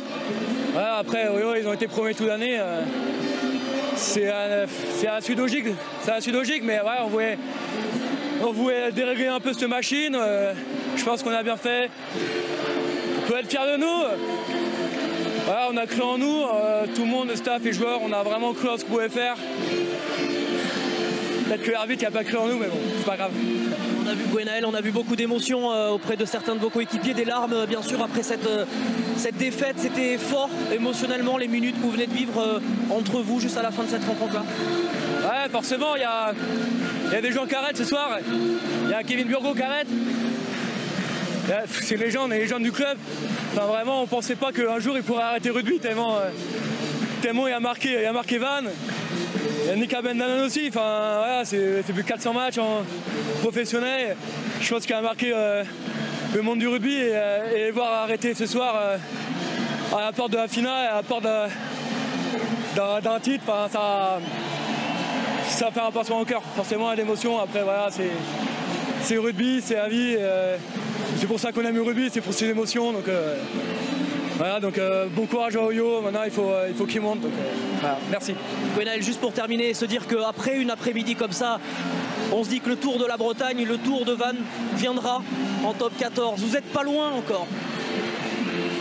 Ouais, je pense que. Je pense que voilà, c'est notre troisième demi-finale. On n'est pas loin, mais on y croyait. Aujourd'hui, on y croyait. C'est peut-être la plus dure, mais, on y croyait. Après, euh, à nous de continuer de travailler, à nous de continuer de bosser. euh, faut croire, faut croire au projet du club. euh, le club travaille bien. Les joueurs ont envie de progresser. On a vraiment envie de, de développer ce club. Donc, euh, je dis pas que voilà, ce sera l'année prochaine, l'année d'après, mais, mais ça serait une suite logique qu'un jour que le club monte. Ah, c'est peut-être pas la prochaine année, mais, mais un jour, comme il sera en top 14 et. Et c'est vrai, c'est heureux que tous les joueurs doivent avoir, c'est pousser le club, monter le club au niveau de tout, euh, en haut. Et euh, voilà, c'est tout, pour le club aujourd'hui. Merci beaucoup Gwenaël et bravo et à la saison prochaine. Merci. Oui, Romain, ils sont forts, ces mots de Gonel Duplaine, parce qu'on rappelle que ce club de Vannes était champion de fédéral en 2016. C'est pas si vieux que ça. Et il y a de l'appétit, il y avait de l'appétit comme quoi la volonté, le match montré, donné aujourd'hui, offert par les Vantais, euh, Jonathan, ce n'était pas que euh, bien figuré sur le terrain d'une équipe qui semblait invincible, celle de Yona.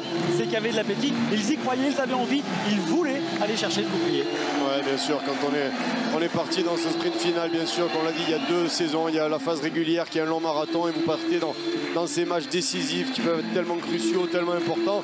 Mais si le match d'aujourd'hui était peut-être aussi la base fondatrice d'un van euh, conquérant, d'un van ambitieux, parce que voilà, la saison prochaine, ils vont aussi construire sur ce match-là, sur cette fin de saison, sur cette phase finale, et peut-être aussi ce sera l'image de Van qui sera vivra peut-être une saison comme l'a fait Oyonnax cette année, tellement dominateur. Jonathan, en plein tour d'honneur euh, des Oyomen, on a un garçon qui aurait pu ne pas être là euh, cet après-midi. Jules, ça valait le coup de venir. Ouais, ouais, ça valait le coup, ouais, ça valait le coup, c'est sûr. C'est toujours des, des matchs importants à, à jouer, on a tous envie de les jouer, donc euh, aujourd'hui c'était bien, bien d'être là. C'était votre pari à titre personnel, on parlera de votre équipe dans un instant, mais euh, il était inimaginable pour vous de ne pas participer à, à la fête et à cette qualif en finale? Ouais, ouais, ouais, c'est sûr que bah, ça faisait euh, presque deux mois que j'étais plus là, donc euh, c'était compliqué. Et à un moment donné, j'ai cru que j'allais pas pouvoir euh, revenir à temps, mais euh, écoutez, aujourd'hui, euh, on a un groupe qui se bat, qui se bat fort, donc euh, tout le monde espère être là. On a la chance d'avoir quasiment tout l'effectif, on n'a que deux blessés, donc euh, dès qu'on est sur le pré, on donne le maximum. Bon, à 80 minutes du top 14, le rêve il est à portée de main, le bouclier, la, le bouclier, la montée, c'est, c'est tout proche là. Ouais, ouais, ben, c'est proche, c'est à 80 minutes. Mais bon, il y aura une équipe qui va rester sur le, sur le carreau euh, après cette finale et une qui va monter directement. Donc euh, on va donner le maximum pour être l'équipe qui va monter directement parce que ça a été très long et, et on attend ça avec impatience et le public aussi attendait ça. Donc c'est bien, on va pouvoir se battre encore 80 minutes.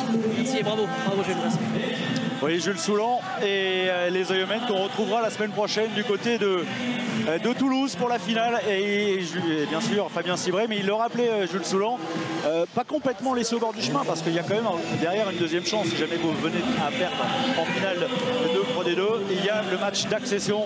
Et pour jouer là, c'est la montée directe. C'était l'objectif de début de saison. Maintenant, il reste une marche à franchir. Ce sera face à Grenoble ou à Mont-de-Marsan. On vous rappelle bien sûr que vous n'en avez pas terminé avec le rugby hein, sur, sur l'antenne de Canal parce qu'à 21h, Grenoble-Mont-de-Marsan en compagnie euh, de la paire Philippe Broussard, Thomas Lièvremont. Là aussi, ça promet. C'est vraiment le parfum des phases finales et on aime ça. Allez messieurs avec Joël Abd avant euh, d'avoir Thomas Laclaya parce que pour lui aussi c'est fort émotionnellement. Joe c'était chaud, vous avez, failli tout perdre à la dernière minute. Ouais, c'était chaud. Euh, On savait que ça allait être un match âpre, de- très très dur. Van, ils ont fait une super saison, ils ont fini euh, très très bien. Mais euh, il faut qu'on salue le, le froideur de l'équipe. Ils n'ont pas paniqué, surtout en premier mi-temps. Et chaque fois qu'ils sont revenus, et, euh, à la fin, euh, on, on sourit. Quoi. Donc on est, on est très fiers aujourd'hui. Plus qu'un match avant d'aller chercher ce rêve de retourner en, en top 14. Vous y êtes presque, on en parlait avec les joueurs. 80 minutes d'aller chercher cet immense bonheur. Ouais, il, reste, il reste un match. Parler de rugby aujourd'hui, oui, mais surtout, je veux parler de cette ambiance. Ça fait 4 ans qu'on a essayé de construire ce projet et aujourd'hui, euh, c'est magnifique de voir autant de monde euh, avec nous et euh, maintenant, il reste un match. Merci beaucoup John, on vous laisse préparer ça. Et on enchaîne, Thomas Laclaya est avec nous. Alors on a eu un vrai faux départ Thomas, vous êtes revenu sur la pelouse finalement, mais bon on imagine que c'est fort pour vous là, ce qui est en train de battre euh, votre, dans- ce qui se passe dans votre cœur, pardon. Ouais, bien sûr, ça fait plaisir de voir un stade euh, plein. Depuis le top 14, c'était pas arrivé, donc euh, offrir une victoire, euh, une finale euh, aux supporters, ça fait vraiment plaisir. Et, et pour le groupe, euh, voilà, ça vient concrétiser euh, trois ans ou quatre ans de travail où on est passé à la trappe euh, trois fois en demi-finale, donc euh, voilà, ça fait du bien de, de passer enfin le cap. Bon, vous avez envie de partir euh, d'Oyonnax en laissant le club en top 14, on l'imagine, ce serait peut-être votre plus beau cadeau d'adieu.